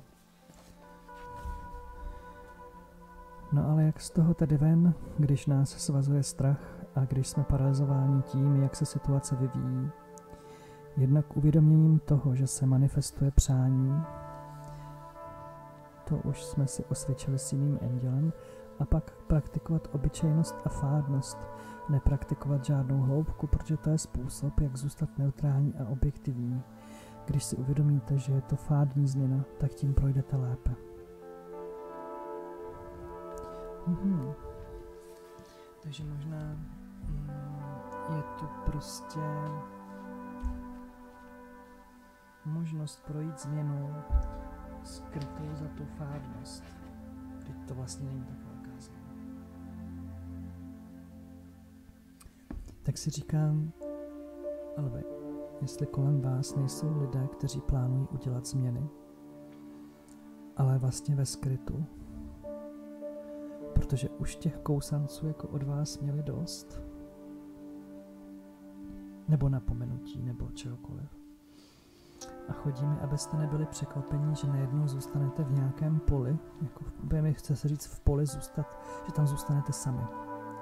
Že než se rozkouknete, najednou zjistíte, že všichni v potichosti jako odešli, udělali rozhodnutí. Je to takový to, vztáhnu to na vakcinaci, ale ne, ne, ne, neberte to doslova. Všichni okolo vás vám tvrdili, že prostě se nenechají prostě ovočkovat. Jo, vy jste si na tom založili jako svoji pravdu, že teda jo, děláte dobře a pak najednou zjistíte, že jste jediný, který nejste. Jako. Ale možná to je vlastně i dobrý příklad. Jo, že vlastně nakonec tam zůstanete vy stát jako v nějakém přesvědčení, který vlastně není vaše vlastní. Vy jste se tady snažili jenom někoho nachytat. Ale lidi s vámi už mají nějakou zkušenost. Takže už začali chápat, jak se mají vedle vás zařídit, aby byli nepozorovaní.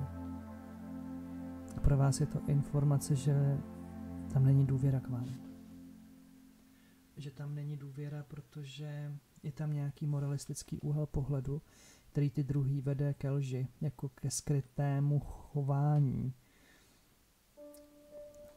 Ta racionalizace, to je až jako přes přílišné uvěření tomu, že mám pravdu já, já, já, nikdo jiný.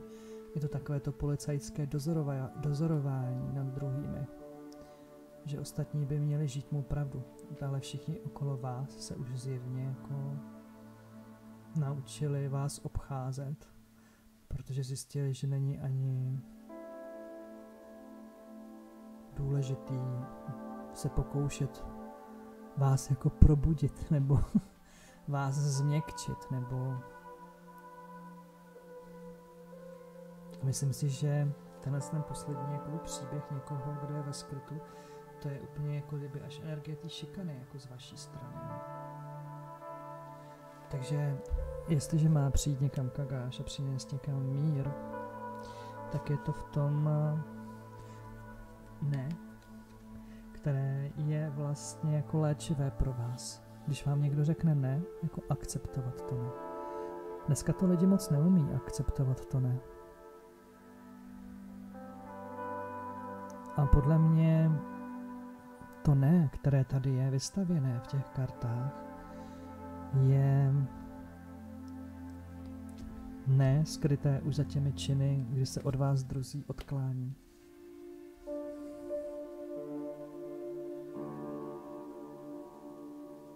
Mně přijde, že je to ale v pořádku.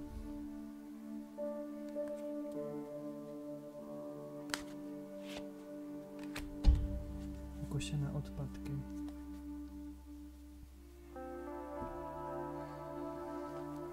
taková jako těžká energie, kdy už mi o nic nejde můžu se v klidu najíst i ukošené odpadky.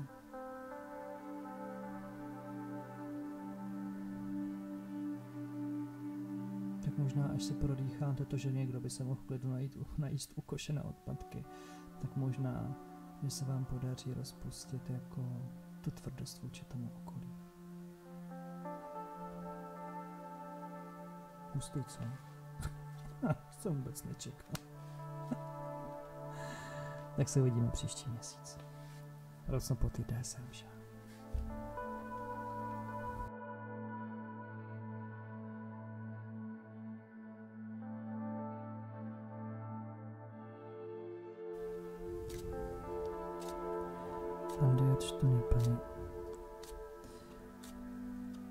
Se za všechno, co se děje.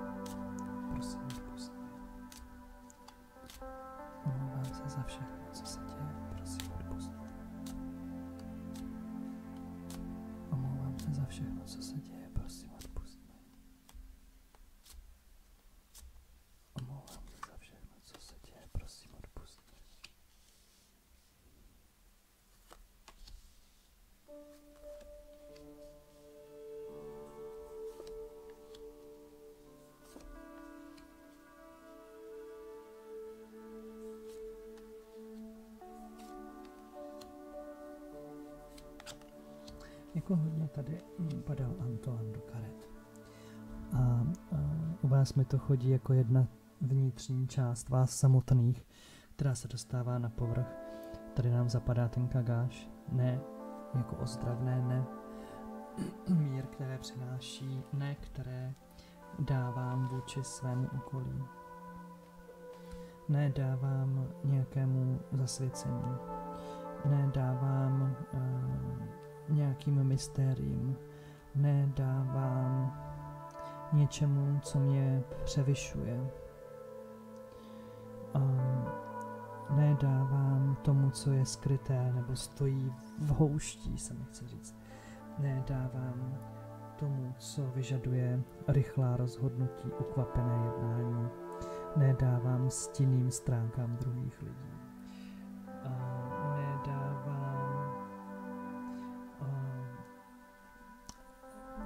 Komediantům. Nedávám těm, kteří se předvádí za nějakým účelem.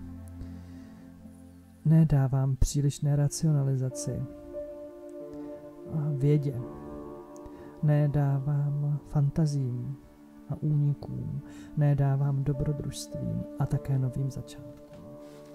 Hodně zajímavé je, že všechno tohle ne je léčivé. Všechna tahle ne, která řeknete, jsou vlastně přinesením míru do vašeho nitra.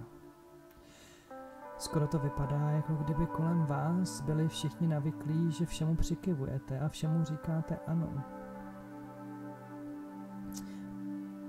A přeci také, když říkám příliš ne, tak se vlastně jak se jako uzavírám.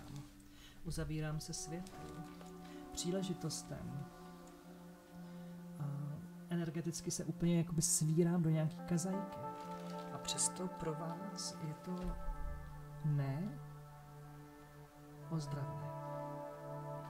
A tak si ještě říkám, není to také ozdravné vice versa? Není ozdravné, když někdo, koho požádáte o zasvěcení, vás odmítne. Není ozdravné to, že se vám něco nerozkrývá. Není ozdravné to, že vám věci nejdou rychle. Není ozdravné to, že se vás druzí snaží jako zatáhnout do nějaké hry tím, že se předvádí. Třeba ve vás chtějí něco probudit. Není ozdravné to, když uh, máte jakoby za, zavřeno jako k fantazii, k představám, k vizualizacím. Není ozdravné to, že nemůžete někam jet. Nebo že jste někam chtěli jet a už to nejde. Není ozdravné to, že mm, se vám nedaří vstoupit do nějaké nové oblasti. A teda, a teda. A tady to bylo trošku jiné. Tady to nebylo doslova ne. Tady to bylo jako když ten druhý, jako motivy toho druhého jsou jiné, proč to dělá. Ale vy to jenom třeba špatně čtete.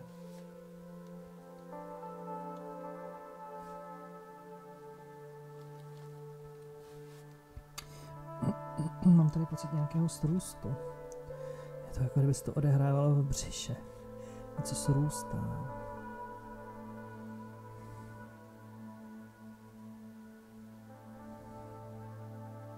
Takže otázka je, s čím jste vlastně srostlí.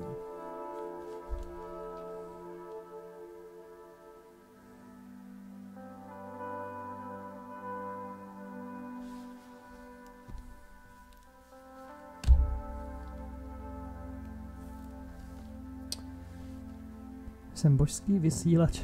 To už taky čtu po několikátý. Ty vysíláš, ty přijímáš, jsem rozenátor, příjem poselství, odeslání zpráv, tichá pošta, spojení myslí, myslím na tebe a ty voláš, telepatie.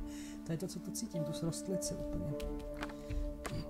Někoho si přivoláváte do života. A paradoxně mu pak říkáte ne, ne, no ne, ne. Jako kdybyste s takovým člověkem chtěli žít, protože vám pomáhá jako utvrzovat si něco nebo sebe v něčem.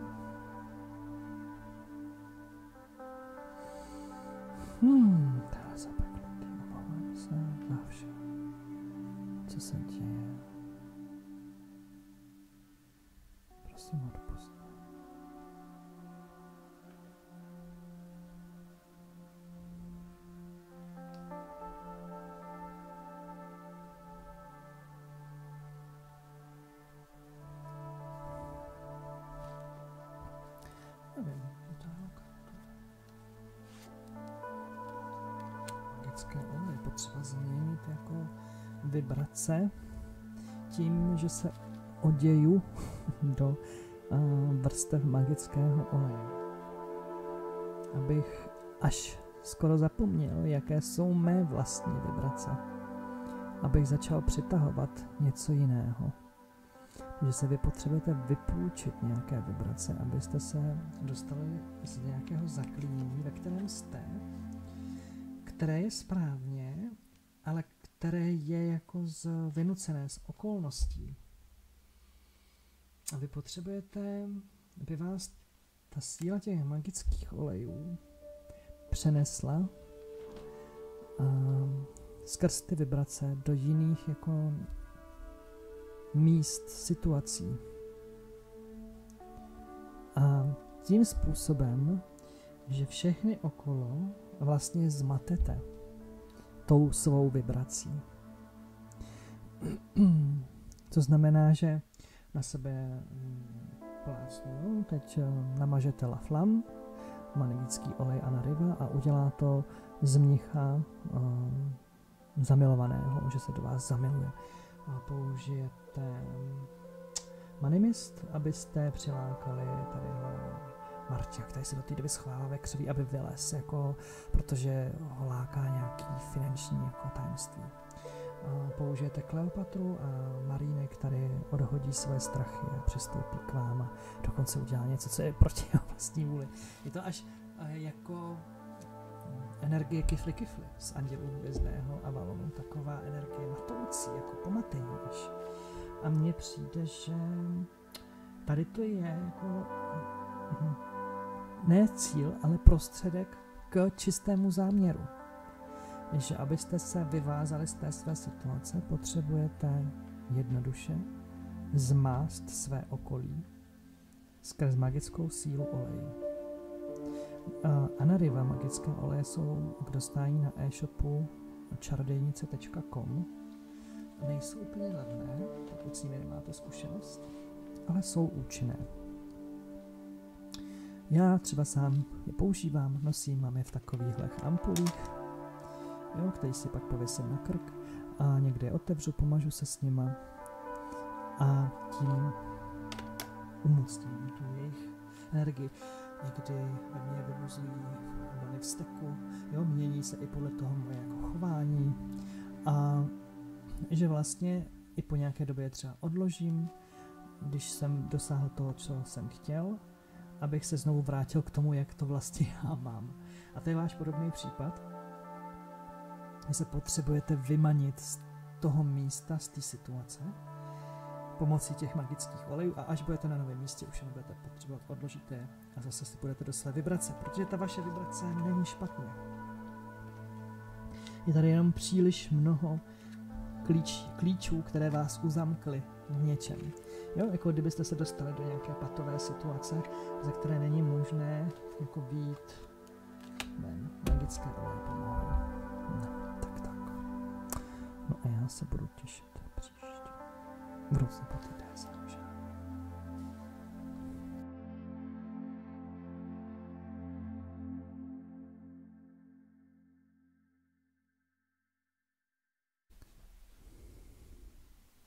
Andy od Čtoní váhy, já vás eh, zdravím a vítám vás u vašeho výkladu. A než se do něj pustím, tak mi dovolte něco odčistit.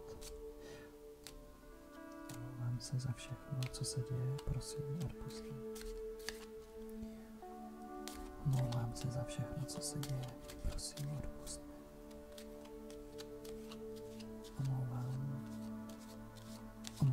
Se za všechno, co se děje, váhám, prosím, odpust mi.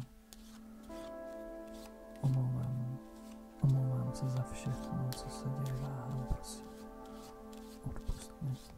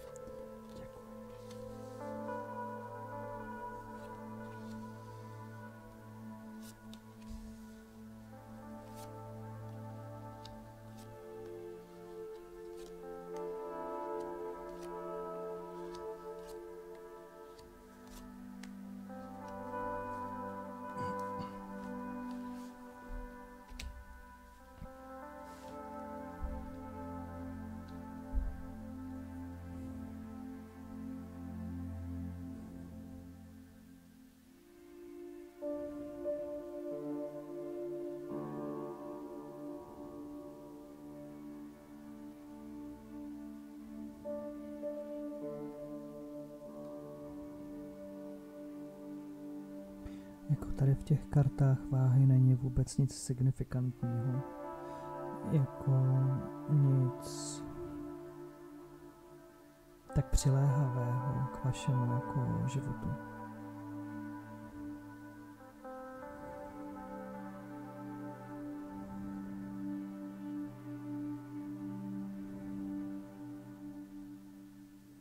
Je to až jako s překvapením, že tady pro vás není jako vzkaz.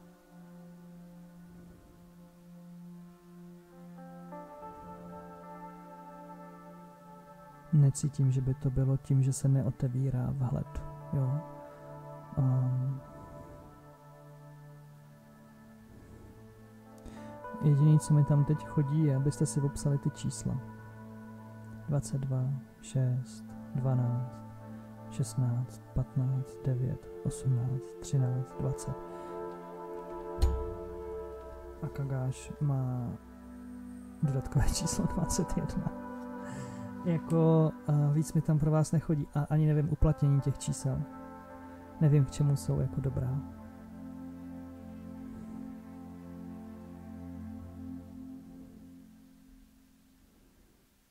Dvacet dvojka je na kole štěstí, šestka je na Alešovi, dvanáctka na Marínkovi, šestnáctka na Máťovi, patnáctka na Dádovi, devítka na Garmon Bozlíhovi, osmnáctka na Fingenovi, třináctka na Venovi, dvacítka na Voloďovi, dvacet jednička na Kakáši.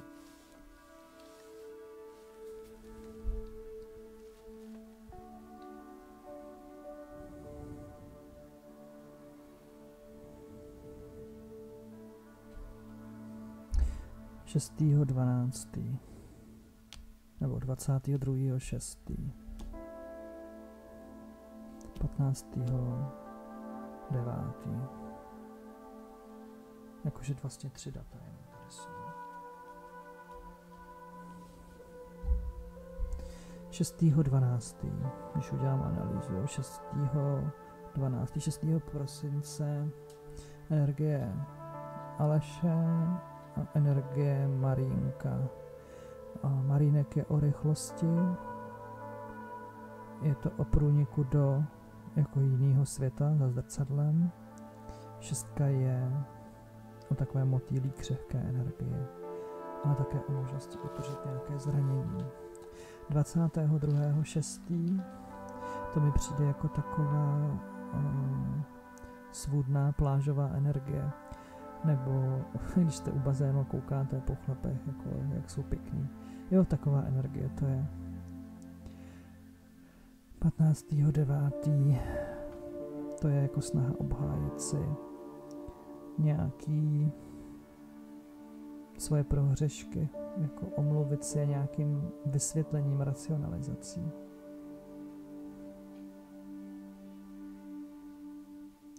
Mm, a pak 16.9. je jako podlehnutí těmto prohřeškům.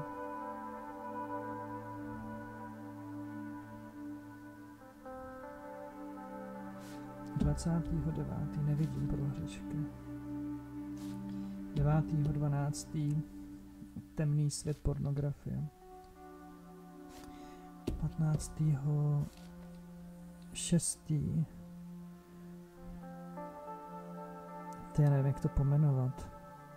Zkrátka, 15.6. Dáda se vzdává svých dredů a věnuje je Alešovi, který je nosí jako paruku. Tedy je to přijetí něčeho, co mi není vlastní, za vlastní. A je to ozdravné.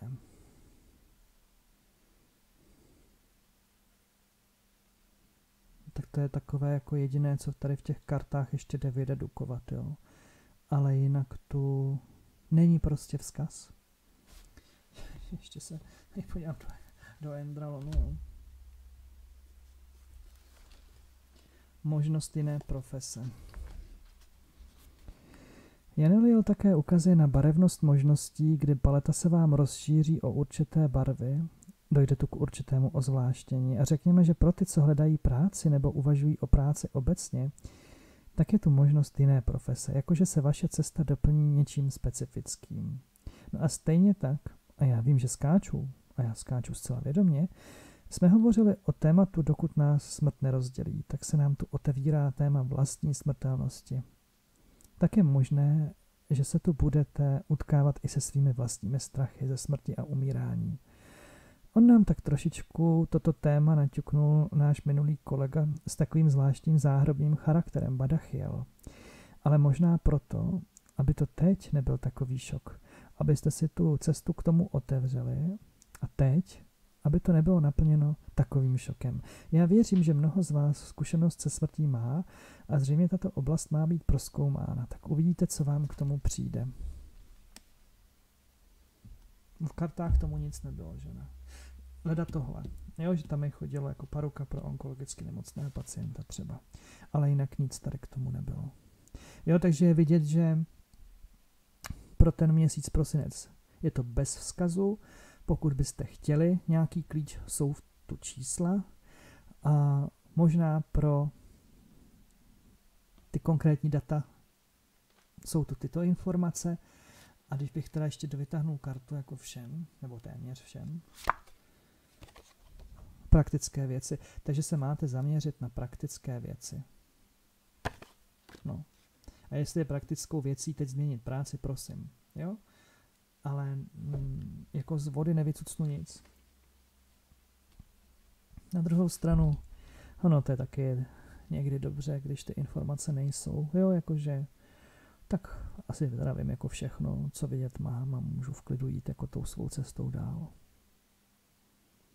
Jo, proč by vždycky měly být nějaké informace? Proč bych vždycky měl udělat nějakou změnu? Jo, možná, že v toho to vám přinese klid, jakože všechno v pořádku, nemusíš nic teď řešit, do něčeho šťourat. Jo, pokud se nudíš, tak tady řeš tu, tu číselnou křižovku. Duchovní. nebo se zaobírej smrtí. tak tak, no já se budu těšit příští měsíc, doufejme. To říkám teda u každého znamení, že příští měsíc, ale doufejme. Já nevím, co bude. Budoucnu ty sám žár.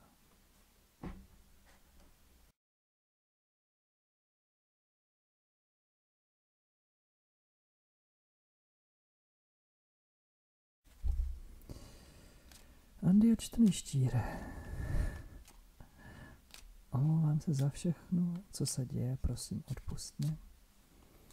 Omlouvám se za všechno, co se děje štírům, prosím, odpust mi. Omlouvám se za všechno, co se děje, prosím, odpust mi. Omlouvám se za všechno, co se děje štírům, prosím, odpust mi. Omlouvám se. Omlouvám se. Omlouvám se. Omlouvám se. Omlouvám se. Omlouvám se. Prosím, odpust mi. Prosím, odpust mi. Prosím, odpust mi.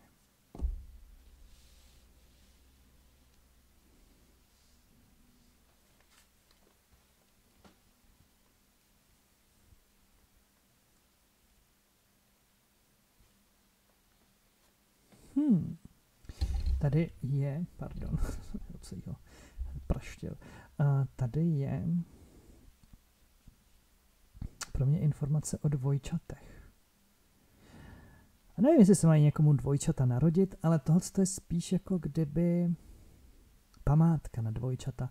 Dva medailony. I když medailon je v podstatě jenom David, ale ten Mark mi tady teď se s tím jakoby spojuje jako druhý medailon. Je to fotografický medailon, že tady máme Jana. A je to spojené s nějakým milenectvím. Možná, že tady nějaký jako důvěrný vztah sourozenců, kteří si přes tajný jako přes skrytý eh, medailon vyjevují svou tajnou lásku třeba. A nebo by to mohlo být jako dva medailony, jako vzpomínky na dva krásné milence jednoho člověka.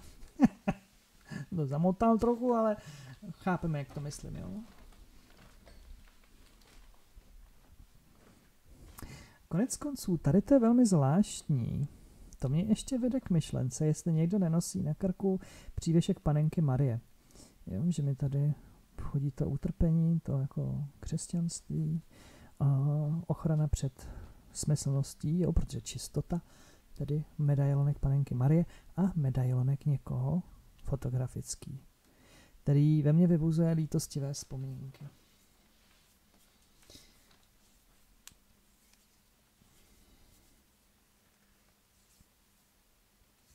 A pak je tady silný zákaz nosit medailonek někoho,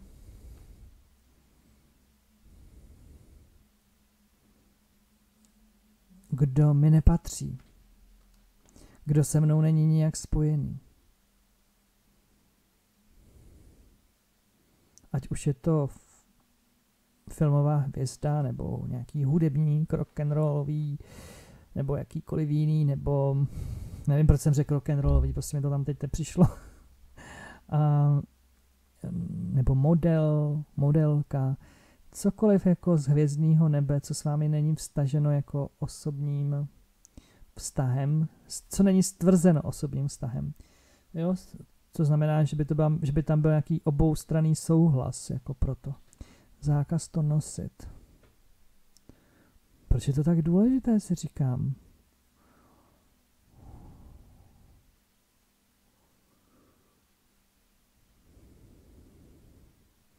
No, chodí mi tam karma toho fotografa. Máme ho uprostřed, která je vložená do té fotografie v tom medailonku. Že tam, kde se jedná o to vědomé spojení těch dvou lidí, tak ty si toho fotografa vybrali a věděli, k komu jdou, jo? Tady to tak není, vy nevíte, kdo fotil tu osobu. Nejde o to, že nosíte na krku tu osobu, ale nevíte, kdo fotil tu osobu,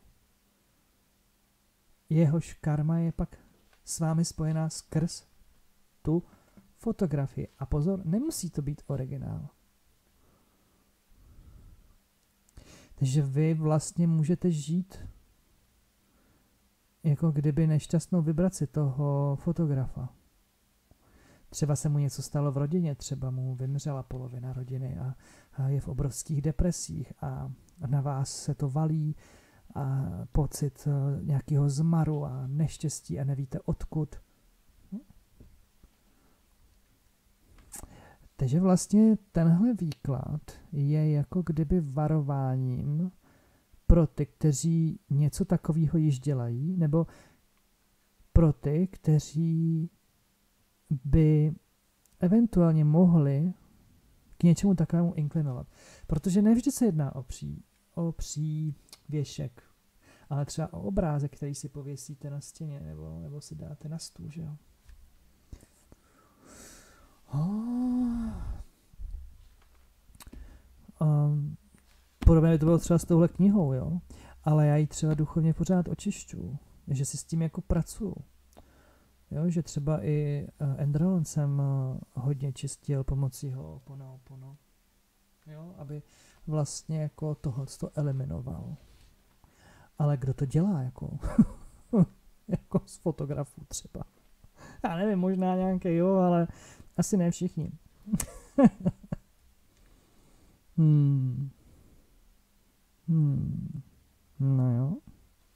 No tak nic, šáhneme do Endralonu, co nám poví. Oh, to je tíha.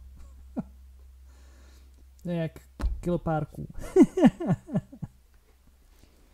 Když pocítíte, že jste někoho kritizovali. Pokaždé, když se dostanete mimo svůj střed, spojíte ruce na srdci, otočíte se kolem své oci, osy, procítíte klid a mír. To protočení kolem své osy má určitý svůj význam. Vy se v tu chvíli oprostíte od toho, co prožíváte. Vy se v tu chvíli oprostíte od toho, co prožíváte.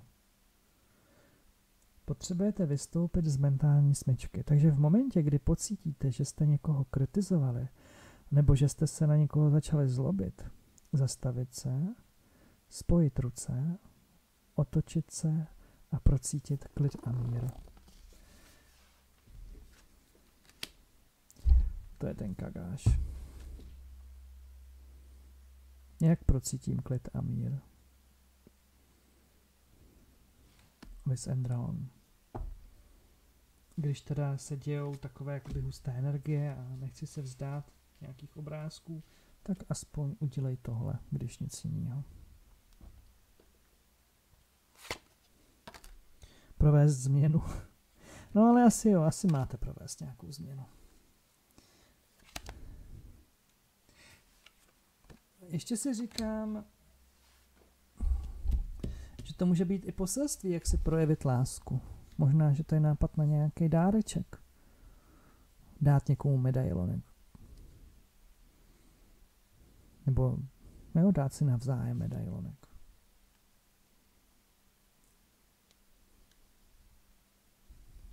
Hmm. No tak, tak. Víc mi k tomu nechodí. No, máte to nějaký chudý, ale není to tak chudý, jako to měli váhy. chudý Vánoce s Endraonem. tak jo, štíři, mějte se pěkně a třeba příští rok. Budoucno pod DSM, šá.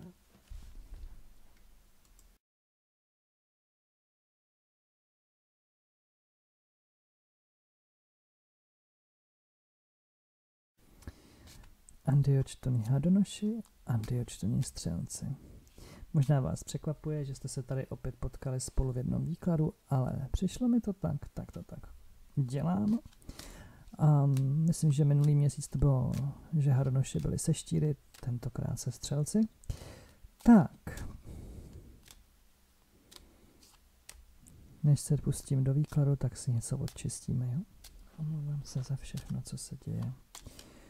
Prosím, odpust mi. Omlouvám se za všechno, co se děje. Prosím, odpust mi. Omlouvám se za všechno, co se děje hadonošům a střelcům. Prosím, odpust mi.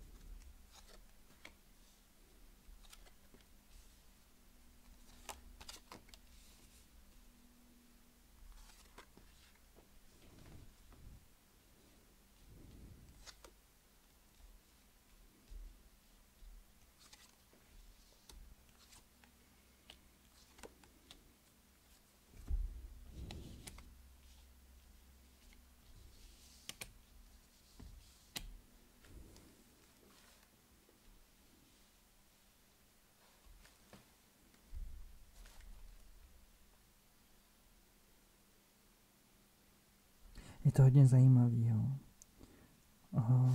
ten Jan, ten je pořád stejný, ale tentokrát opravdu jeho jinakost barevná na mě vystupuje.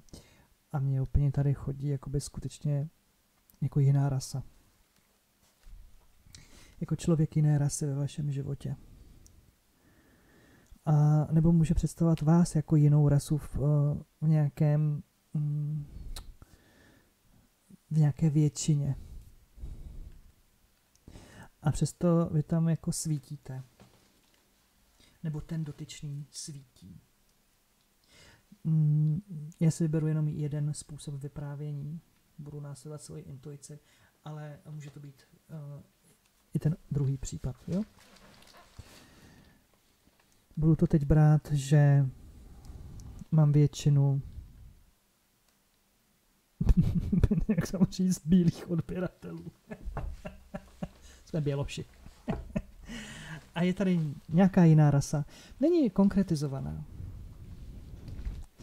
Um, a ještě mi chodí, že to může být váš kamarád, spolupracovník, který má životního partnera jiné rasy.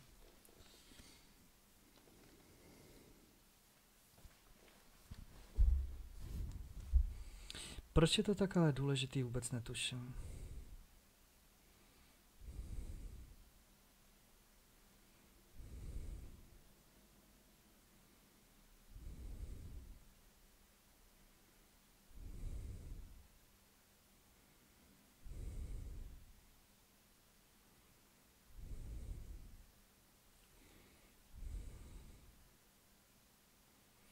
A tak je hodně zajímavý černý penis, bílý penis. Jo, vidíte to sami. Tady je černý proto, jakože ta černá klávesa na piano, jo. Tady je bílý penis. A tady je vlastně ještě indián, ještě chodí. Takže vlastně mám tady ještě indiána. Tady, já jsem úplně slepý. Tady do toho koukám, tady mám indiána, tady nevím, jakou rasu, možná černocha a tady mám uh, Japonce. Tady mám Australana. To úplně se mi to teď jako, což není rasa, ale uh, možná by to byl potom uh, nějaký original tam. Už mi úplně chybí slova. jsem o tom nikdy nevykládal. Um,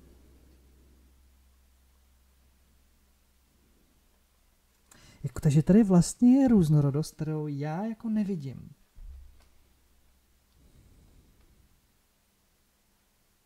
Tadyhle v prostředku je smutek a bolest.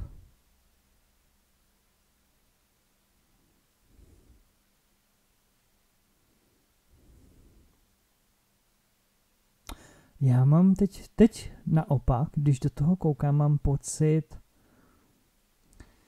jak byste se tvářili, kdybyste byli v takovém prostředí. Kdyby vás to takhle obklopovalo každý den.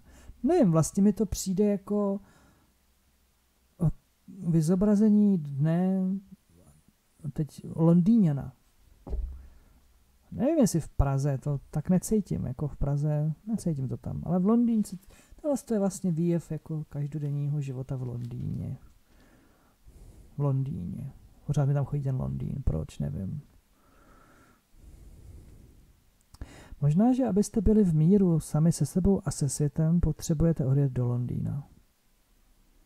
A možná tam pobejt nějaký čas. Možná si udělat dovolenou, a pořád mi chodí jako v Londýně. Ne, že si pojedu tamhle někam do Irska, do Skotska, ne, prostě jenom čistě 8 dní v Londýně, nebo 21 dní v Londýně jakože bez toho, aniž bych ten Londýn vlastně jako opustil. A užívám si tu krásu té rozmanitosti. A hlavně v tom cítím jako potřebu vlastního procesu uzrání, protože tady ten míra vlastně jako si uvědomuje, nakolik je vlastně naplněný bolestí. A bolestí uvnitř svého nitra ten Londýn ho uzdravuje.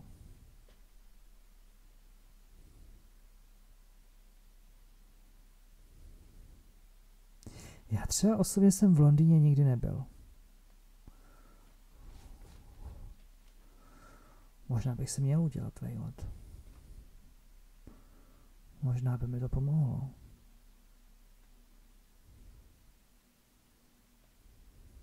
Tak nevím, kolik mě odebírá hadonošů a střelců. My jsme udělali společný zájezd v prosinci do Londýna, co? a Bůh ví, jestli jsme se tam dostali. Možná jindy. Možná jindy by to byl únik. Možná jindy by to bylo, že jste vedle sebe. Andělský paprsek Anděla Michiela vás zve do meditace. Zavřete si na chvíli oči a spojte se v duchu se svým duchovním partnerem. Ah, tak páne, jo. Už to dostává jiný rozměr, vidíte. To totiž můžou být všechno duchovní partneři. Jenom jestli my se nelimitujeme prostě svojí vlastní rasou. Možná vidíte jeho oči, jak se na vás trpělivě s láskou dívají.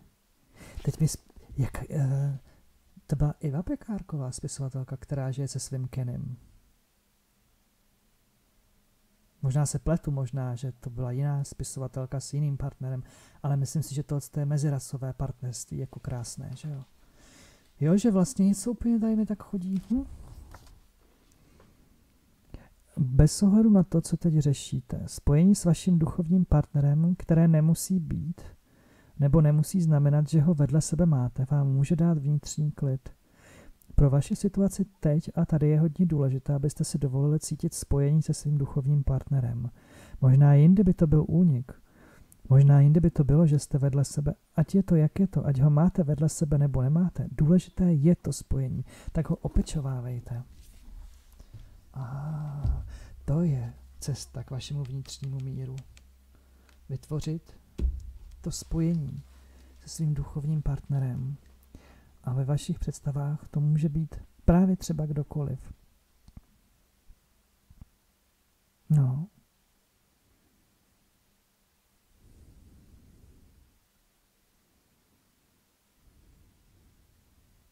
Zajímavý.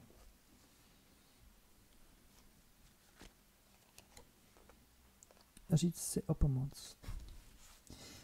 To je pro mě potvrzení jenom sdílení krátkého příběhu z rodiny, kdy moje sestřenice odjela před mnoha lety, mnoha a mnoha lety do Londýna jako oper a udělala si těžké popáleniny a pracovala tehdy v nějakém klubu, nebudu konkrétní, a, a jeden muž z toho klubu odvezl do nemocnice. Tam jí řekli, že se nesmí hýbat, odvezl si ji domů a pak se vzali. Říct si o pomoc. no, stát se může cokoliv, pokud je to v osudu. Takže možná Hadonoši a střelci mají teď dělat si představy o spojení se svým duchovním partnerem, který může být odkudkoliv. Nemusí být vedle a pokud to má být, osud se postará.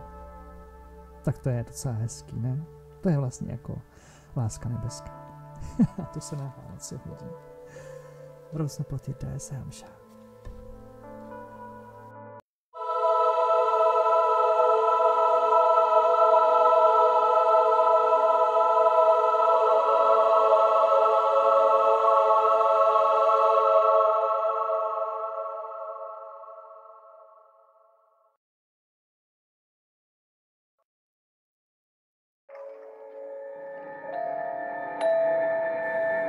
šák. Vraucno potir tae seam sha Endralon shirimi Yuanna hahvair tae seam nahor rakarhi Pakaji nahor atrh Pakaji ashmenkila trhahvair Latvira namik eihara me viendralon Pak aji ashahazatrech Endralani Mahantirsta Tvakkoshunkae Mahviroksikajan Rahmin Mohvirsongi Ahvair Maikunlaat, Maikutsmuklilaat, Maikulaminlaat, Ahunioslaat, Kashkamurenilaat, Akarjelaat, Ahvair Valankereoshista, Sterolate Ahvaireishi, Endralani, Rokvil, ahvairishi daeseam. Steri kachmi, steri hanse hanse, steri henlohen. Kentos sule rexoromuna jaksa bailontos havaranti karaman slovenoren horiontos hashamanarv ahvair aeskir pak endralonire kai hente. Vraucno potir dae seam shah.